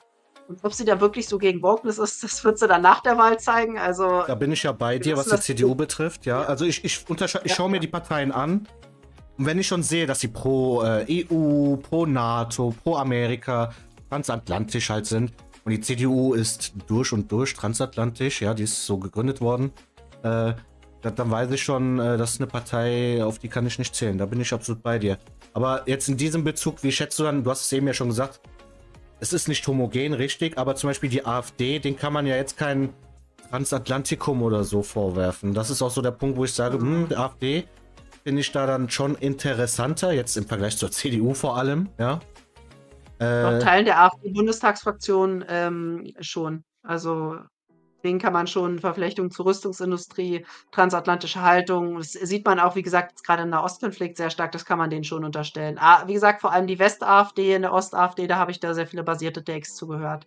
Na, aber wir wollen jetzt mhm. nicht äh, so konkret okay. auf Deutschland gehen. Das war ja nur ein Beispiel. Ja, ja, ja, ja. Okay. okay. Dann ähm, diese, äh, dieser Wokismus kann man damit langfristig gesehen natürlich auch Kriege rechtfertigen. Also man hat ja beispielsweise unser Engagement in Afghanistan ähm, ja, äh, damit gerechtfertigt, dass wir dort Mädchenschulen bauen, dass wir uns für die mhm. Rechte der Frauen einsetzen. Das wird mhm. jetzt noch viel ähm, äh, noch viel mehr kommen. Also in Zukunft wird man sagen, wir müssen in Land XY äh, einmarschieren, weil dort die Homosexuellen unterdrückt ja, das werden. Haben wir, das haben wir jetzt gesehen in Ungarn und Katar im Rahmen der Fußball-Europa- und Weltmeisterschaft, die letzten beiden. Erst bei Ungarn da war doch das Thema mit der Regenbogenflagge und dem Regenbogen-Allianzstadion. Bei der, äh, äh, äh, war das die Europameisterschaft? Ja, ich meine schon. Und letztes Jahr Katar, ja, homosexuellen Rechte und all sowas. Äh, da, da gebe ich dir absolut recht. Das wird da auf jeden Fall. Oder auch wenn man dann auf den Iran guckt, ja, hier eure Frauenrechte und so. Das sehe ich tatsächlich auch so, ja. Dass das geopolitisch dann irgendwie so genutzt wird damit man dann auch der eigenen Bevölkerung, die dann hoffentlich so vogue wie möglich ist zu diesem Zeitpunkt, denen dann auch rechtfertigen kann, guck mal, das sind die Bösen, wir müssen da was tun. Und dann vielleicht im schlimmsten Fall und vielleicht sogar irgendwann zu den Waffen oder zu anderen Mitteln greift. Ja, das kann ich mir schon so vorstellen. Wie seht ihr das? Panda, Panda, sag du doch mal was. Ja, es kann durchaus als ein solches Werkzeug genutzt werden. Das ist, sieht man ja. Es wird ja getan. Okay, ist da. Ich widerspreche dir. Einfach okay. mal, muss, muss so sein eigentlich. Dann, dann bring mir deine besten Argumente. Du bist alt und hast keine Ahnung. Ich glaube, das sind genug Argumente. Okay. Ja, okay, ich bin doch von Star überzeugt. Das ist schade, okay. Naja, aber ich glaube, dann sind wir uns da einig. Ja. Ja. Äh, das läuft ja schon, seit sie die Frauen zum Rauchen animiert haben, indem sie dadurch Selbstbestimmung als Grund nannten. Ja, die Fackel der Freiheit nennt man das, habe ich bei Erwin gelernt. Ja, aber ich habe das auch woanders schon gehört. Oder auch Frauen zur Arbeit. Bitte? Oder auch Frauen zur Arbeit. War ja auch Selbstbestimmung und die Emanzipation. Ja, klar, ne, da hat man ja auch von profitiert. Die Familien haben darunter gelitten, aber man hat halt mehr Arbeiter und Steuerzahler dann auch gehabt, ne? Die Familienstruktur wird dadurch völlig aufgelöst und man ist mehr vom Staat abhängig. Wie siehst du denn so diese Thematik? Zum Beispiel den, wir waren ja eh beim Thema Shoyoka, die ja immer alles als Frauenhass interpretiert. Äh, was natürlich Quatsch ist, hast du ja auch schon gesagt. Aber wie siehst du so die Entwicklung vielleicht des Feminismus, äh, des, äh, nicht nur jetzt den, wie nennt man das, intersektionalen Queerfeminismus, sondern vielleicht auch den von Alice Schwarzer in den 70ern und sowas, diese Bewegung. Damit habe ich mich, ich muss sagen, dazu habe, habe ich mich zu wenig mit der Situation in der Bundesrepublik der äh, 50er bis 70er mhm. Jahre, was Frauenrechte angeht, äh, beschäftigt. Also das war ja so diese Zeit. Ich weiß, dass Frauen in Deutschland seit 1919, also seit äh, Gründung der Weimarer Republik, wählen durften. Mhm. Aber da gab es ja noch äh, rechtliche Benachteiligungen. Wie weit die gingen, ob da jetzt Proteste gerechtfertigt waren, en Detail, keine Ahnung. Aber nachdem Frauen gleichberechtigt waren, ist sowas meiner Meinung nach nicht mehr gerechtfertigt. Hier die wichtigste Frage, die es da wahrscheinlich schon auf den Lippen hängt. Frauenwahlrecht auf oder zu? auf. Okay. hätte ja sein können, hätte ja sein können. Panda, wie siehst du das? Ja. Willst du weiterhin wählen dürfen? Auf jeden Fall zu. Nein, natürlich. Also, ja, ist klar. Ich bin gegen das Wahlrecht für, äh, keine Ahnung, Grüne. dumme Leute. Grüne. Nee, weiß Veganer. Veganer, äh, äh Männer. Gegen das Wahlrecht für Männer. Vegan. Gegen das Wahlrecht. Panda ist gegen das Wahlrecht, merkt euch das. Oder das. Peter Ludolf ja. fragt gerade mal Meinung zu Björn Höcke. Hast du ja vorhin schon gebracht, vielleicht war er da noch nicht da. Vielleicht ganz kompakt mal so für Peter. Also er ist nicht transatlantisch, er ist nicht neoliberal. Also scheint er nicht zu sein. Wie gesagt, ich würde mir wirtschaftspolitisch mehr Details wünschen. Er hat einen guten strategischen Blick. Und äh, ja, wie gesagt, also diese radikalen Redenäußerungen, die wir gehört haben und so die, diese, ja, sagt mir jetzt nicht so zu, aber ich habe da jetzt inhaltlich nur nicht so Schlimmes gehört, dass ich sagen würde, mit dem darf man nichts mehr zu tun haben, sondern ich finde, er ist einer der vernünftigeren AfD-Politiker. Das ist genau auch mein Eindruck. Ich selbst bin ja auch nicht so krass deep drin gewesen, so jetzt was da einzelne Aussagen, Politiker und so betrifft, grundsätzlich, sondern eher im allgemeinen Programm. Ähm, und da habe ich natürlich auch immer gehört, äh, ja, Höcke, das ist ja so der schlimme Nazi, hat dies und das gesagt. Und ich bin dann natürlich jemand, ja. der, der sich dann irgendwie selber damit auseinandersetzen will und sich selbst von etwas überzeugen will, warum das denn so schlimm ist, wenn ich das in den Medien höre. Und da habe ich halt geguckt, so die besten Argumente waren so, äh, ja, der hat mal äh, zum Beispiel alles für Deutschland gesagt oder das war ja nur, äh, nee, das mit dem Fliegenschiss war Gauland. Aber äh, hier irgendwie mit der Schande, äh, ne, hier mit dem Mahnmal. Das ist äh, halt die Schande. Mahnmal der Schande. Ja, das Mahnmal der Schande, Schande, genau. Ja, ja. Nur das. Weißt du? Und dann sieht man halt, dass das immer so aus dem Kontext gezogen ist und geframed wird. Weil mit Mahnmal der Schande sagt er, ja, das war ja eine Schande, was wir getan haben. Aber es wird so gesagt, als wäre es eine Schande, dass wir damit irgendwie, keine Ahnung, uns das hier aufbürden. Und da denke ich mir, okay, wenn das die besten Argumente sind, muss man halt mal inhaltlich erstmal hinschauen. Und inhaltlich, äh, finde ich halt echt sehr viel von ihm sehr basiert, muss ich sagen. Also habe ich gar nicht so viel zu kritisieren. Man kann natürlich schon sagen, dass da abends mal ein bisschen Provokation bei ist in der Rhetorik. Aber das ist ja heutzutage üblich im Politik-Game, selbst im Influencer-Game. Ja, aber manche Sachen finde ich wirklich drüber. Also wir werden Volksteile verlieren, da fällt mir jetzt keine ge gemäßigte Interpretation von ein beispielsweise. Da würde ich sagen, da denkt er wahrscheinlich an die Demografie, die halt äh, äh, kaum noch Kinder bekommt, weil wir haben ja irgendwie eine Geburtenrate von was, 1,2 oder so derzeit. Ich denke mal, in die Hinsicht wird das gemeint haben, ne? Das halt. Nee, äh, er meinte schon Volksteile, die sich dieser Islamisierung und auch, was hat er da noch gesagt, nicht bereit und Arabisierung äh, bereit sind entgegenzustellen. Also schon Volksteile, die in einer anderen politischen Meinung sind als er. Und das geht ja auch ziemlich in die Richtung, was Schlomo in seinem Talk mit Erwin gesagt hatte, was ich schon drüber finde. Also, okay. Also was ich schon drüber finde. Aber naja, äh, da gemeint, gar nicht vielleicht so den Kontext dafür, gemeint war seitens Höcke ja nicht, dass er die umbringt oder dass er die einsperrt, sondern es ging hier, es ging hier vor allem um die äh, Teile, die dann auswandern wegen der Politik. Das war der Grundgedanke, den Höcke dahinter Okay, hat. das, das wäre eine gemäßigte Interpretation. Dann, dann er recht, wenn er damit meinen sollte, dass die Volksteile dann äh, selber abwandern. Aber Schlomo hat ja beispielsweise vorgeschlagen, diesem einen Typen also ich, ich, will da jetzt nicht en Detail drauf eingehen. Das äh, wäre, also wenn man irgendein Problem mit jemandem hat, wäre es besser, das mit ihm direkt zu besprechen oder mit konkreten Aussagen. Also, ähm. Höcke in Real Talk ist sass. nee, nee, ähm. Aber, aber, glaubst, aber glaubst du denn dann in dem Fall, wenn er sowas sagt, das wäre jetzt nur noch meine letzte Frage diesbezüglich, dass er da wirklich was Radikales meint, wie alle in die Züge oder, oder was stellst du dir darunter? Was ist denn dann deine Interpretation dessen, der, den du problematisch findest? Also, nee, also seine Forderungen, seine konkreten sind ja jetzt nicht radikal. Er fordert ja beispielsweise nur das alte Staatsbürgerschaftsrecht zurück, also für neue Staatsbürgerschaft. Also nicht, Mhm. dass Leuten, die schon Staatsbürgerschaft haben, dass die wieder weggenommen wird, sondern dass einfach für alte Staatsbürgerschaften wieder, also dass für neue Staatsbürgerschaften wieder das alte Recht gilt. Was wir ja Und bis, ist, bis zum äh, Jahr 2000, glaube ich, noch hatten, ne? Ja, ja, ja, und das Dreh, ist ja eine ja. legitime Forderung. Also Ja. sonst wäre ja die CDU von der, vor dem, also die CDU aus dem Jahre 2000 wäre dann ja verfassungsfeindlich. Das wäre ja völlig irre, sowas zu behaupten. Wäre sie heute, Ähm, nach heutigem Maßstab wäre sie das, weil sie tatsächlich damals noch einen ethischen Volksbegriff hat, einen ethnischen. Und der äh, ist ja heute rechtsextrem. Ja, wie gesagt, wenn du jetzt sagst, äh, wir nehmen äh, Millionen Leuten, die schon die Staatsbürgerschaft haben, die wieder weg, das wäre was völlig anderes. Die, die legal bekommen haben. Oder wir selektieren Leute aus, die eine andere Meinung haben. Das wäre was völlig anderes. Ja, da gebe ich dir absolut recht. Das ist auch problematisch. Also, wenn es ist nicht umsetzbar, auch realpolitisch, dann den Leuten irgendwie eine Staatsbürgerschaft wieder wegzunehmen. Was aber auf jeden Fall schon mal wichtig wäre, ist, die Staatsbürgerschaft nicht so schnell auszuteilen. Ich glaube, da sind wir uns auch einig. Da hattest du ja auch vorhin was gesagt, so diesbezüglich. Ja. Ja, Man wie gesagt, das wäre dann für neue. Ja. Und ähm, was ich, was ich gerade noch sagen wollte, äh, es gibt noch andere Leute, die außerhalb der AfD, die viel, viel krassere Äußerungen getätigt hatten. Markus äh, Krall hat beispielsweise, der will jetzt auch eine Partei gründen, die Abschaffung des allgemeinen Wahlrechts gefordert. Und dann sagt der, ich will eine gemäßigte Partei zwischen CDU und AfD. Ah, nein, das wäre nicht gemäßigt. Das Wie, wär- wie hat er das begründet, wenn ich fragen darf? Ich habe das nicht Also mitbekommen. alle Nettosteuerzahler haben noch ein Wahlrecht, alle Nicht-Nettosteuerzahler, alle, die mehr Transfers als, äh, bekommen als Steuern, äh, Steuern zahlen, die haben kein Wahlrecht mehr. Okay, das ist so der Liber- Gar nicht mal so schlecht. Ja, ist aber so Nee, der äh, libertäre Landwirte, Take, ne? Rentner. Ja, ja. Verstehe. Also solche Leute hätten dann kein, ähm, kein äh, Wahlrecht mehr. ja, dann äh, Oder Leute, die in Renten, Unternehmen arbeiten, alles. Subventionen erhalten. Ja. Ja, ja, okay. Nee, also gerade äh, deine Haltung bezüglich Höcke, dass du selber auch von Anfang an schon gesagt hast, dass er für dich einer der, was war das Wort, gemäßigteren oder zumindest besseren AfD-Lern oder sympathischeren AfD-Lern wäre, fand ich ganz gut, weil ich das schon auch ähnlich sehe. Ähm, So inhaltlich. ja, genau, genau.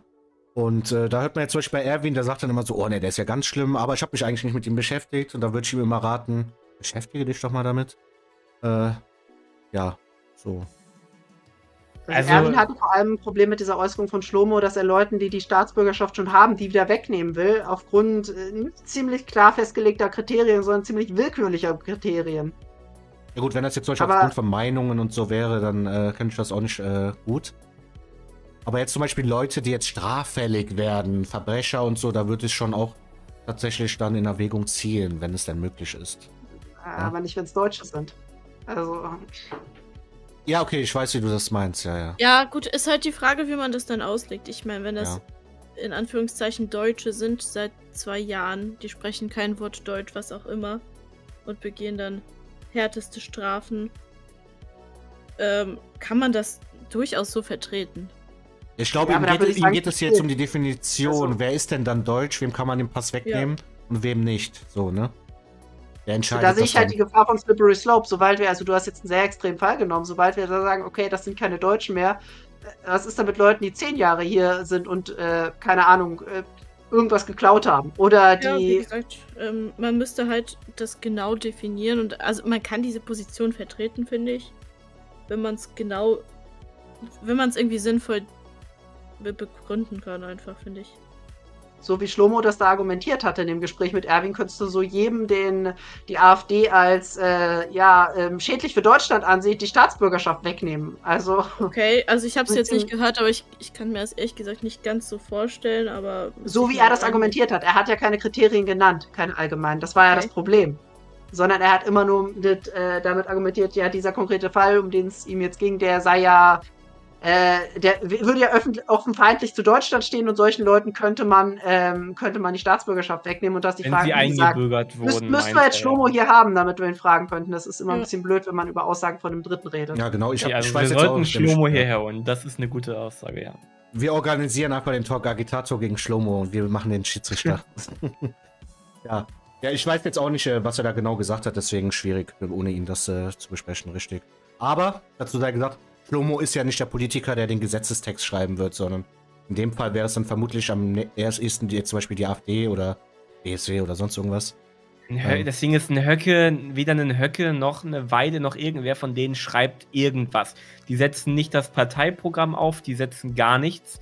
Das machen am Ende die Fachpolitiker, die am Ende über die Liste in den Bundestag kommen. Da hat ein Höcke nicht so viel, ja gut, ein gewisses Maß da mitzureden, aber er gestaltet das nicht. Auch das ist halt nicht sein äh, Bereich, wo er weiß, was wiefern umzusetzen ist.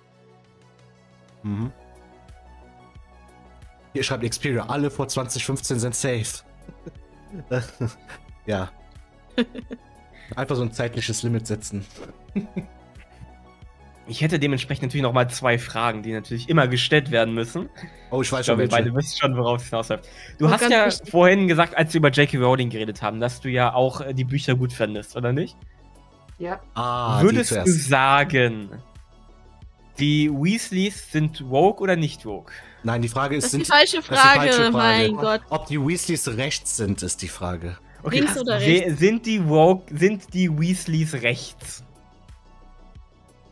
Ich würde sagen, nach allem, woran ich mich erinnere, nein. Aber Gott, nach, nach, nach, heut, nach, heutigem Standard, sagen wir mal so. Nach heutigem Standard, genau. Würden die Medien die als äh, böse Rechte framen? Oder die Woken, so eine Shoyoka oder so. Wahrscheinlich, also ja, okay, so eine Shoyoka wahrscheinlich schon. ja, gut. Ich glaube auch. Gute Antwort. Wir haben es hier schließlich mit einer Großfamilie zu tun, die weiß ist. Und viele Kinder hat. Und viele Kinder hat. Und sogar kritisch sind dem, der, der, der Zauberregierung äh, da. Die gegenüber. sind der Widerstand. Ja, das genau. sind Reichsbürger. Quasi. In so Shoyokas Augen wahrscheinlich schon, ja. Hätte jetzt Lord Voldemort eher als rechts eingeordnet, deswegen. Die ganzen Muggel. Also das ist ja schon ziemlich eindeutig die Referenz, die der eigentlich aufmacht. Mhm. Ja, er, ist, er war quasi ein Rassist, würde man sagen, ne? Die ganzen Muggel. Ja. Ist Muggel sein eine Rasse? Das ist schwierig. Die zweite Frage ist da. Okay, mm, wir stellen uns einen fairen Boxkampf vor. Bist du in einem fairen Boxkampf? Warte, lass, lass, mich das, lass mich das Szenario bauen. Moment, Moment, nee, nee, nee, Moment. Wir machen, wir machen es erstmal stumpf. Okay. okay. Wie viele Frauen kannst du umboxen? Kommt auf die Frauen an. Wahrscheinlich. Ja, genau, deswegen, deswegen, deswegen, wollte ich ihm das Szenario äh, äh, nee, nee, nee, Wie viele Durchschnittsfrauen kannst du umboxen? Wir, wir halten es erstmal äh, einfach. Die, aber du musst ihm ja die Regeln erklären. So, sie stehen in einer Reihe vor dir und äh, wenn du eine K.O. geschlagen hast, kommt die nächste. Die muss aber K.O. sein. In einer Minute. Das war immer noch nicht der Grundgedanke hinter der Frage. Der Grundgedanke war ja eigentlich äh, gleichzeitig in einem Kampf. Wie viele kannst das war du ja immer der Grund. Wir müssen das jetzt nicht überinterpretieren. Gott. Wie gesagt, ich kann nicht boxen. Eine? Okay, also. Eine, okay. Ich glaube, wenn es Pandas wären, dann wären es vielleicht noch ein paar mehr, aber gut. Ja. Puh, ja. Oha, also ich mit meinen 2,10 Meter wird hart für euch. Also die Antwort von deinem Mann war ja innerhalb von einer Minute vier bis ja. fünf Stück. Ne? War doch, glaube ich, oder? Vier, vier bis fünf hat er, glaube ich, gesagt. Ja, ungefähr. Ja. Okay, das war richtig wichtig. So, ähm, haben wir noch was zu besprechen? Hast du vielleicht noch irgendwelche Fragen, Agitator? Nee, nee. Also ich freue mich, dass ich bei euch zu Gast sein durfte. War ein ziemlich langer Talk und mhm. wünsche euch auch ein äh, schönes neues Jahr dann noch. Ja, äh, sehr gerne. Und ähm, danke auf jeden Fall. Wünsche ich dir auch. Freut mich auch sehr, dass du vorbeigeschaut hast. Können wir vielleicht ja demnächst nochmal irgendwann machen. Äh, kannst dich gerne melden oder wir melden uns bei dir. War sehr angenehm. Ähm, ich wünsche dir dann auf jeden Fall einen guten Rutsch ins neue Jahr. Hast du schon irgendwelche Vorsätze und magst du sie uns verraten fürs neue Jahr? Gott, nee. Okay, alles klar. Ja gut. Dann ähm, wünsche ich dir auf jeden Fall noch einen wunderschönen Abend, mein Lieber. Ja, vielen Dank jo, für das Gespräch. Einen guten Rutsch auf jeden Fall. Ja. Ciao, ciao. Tschüss. Ciao. Ciao.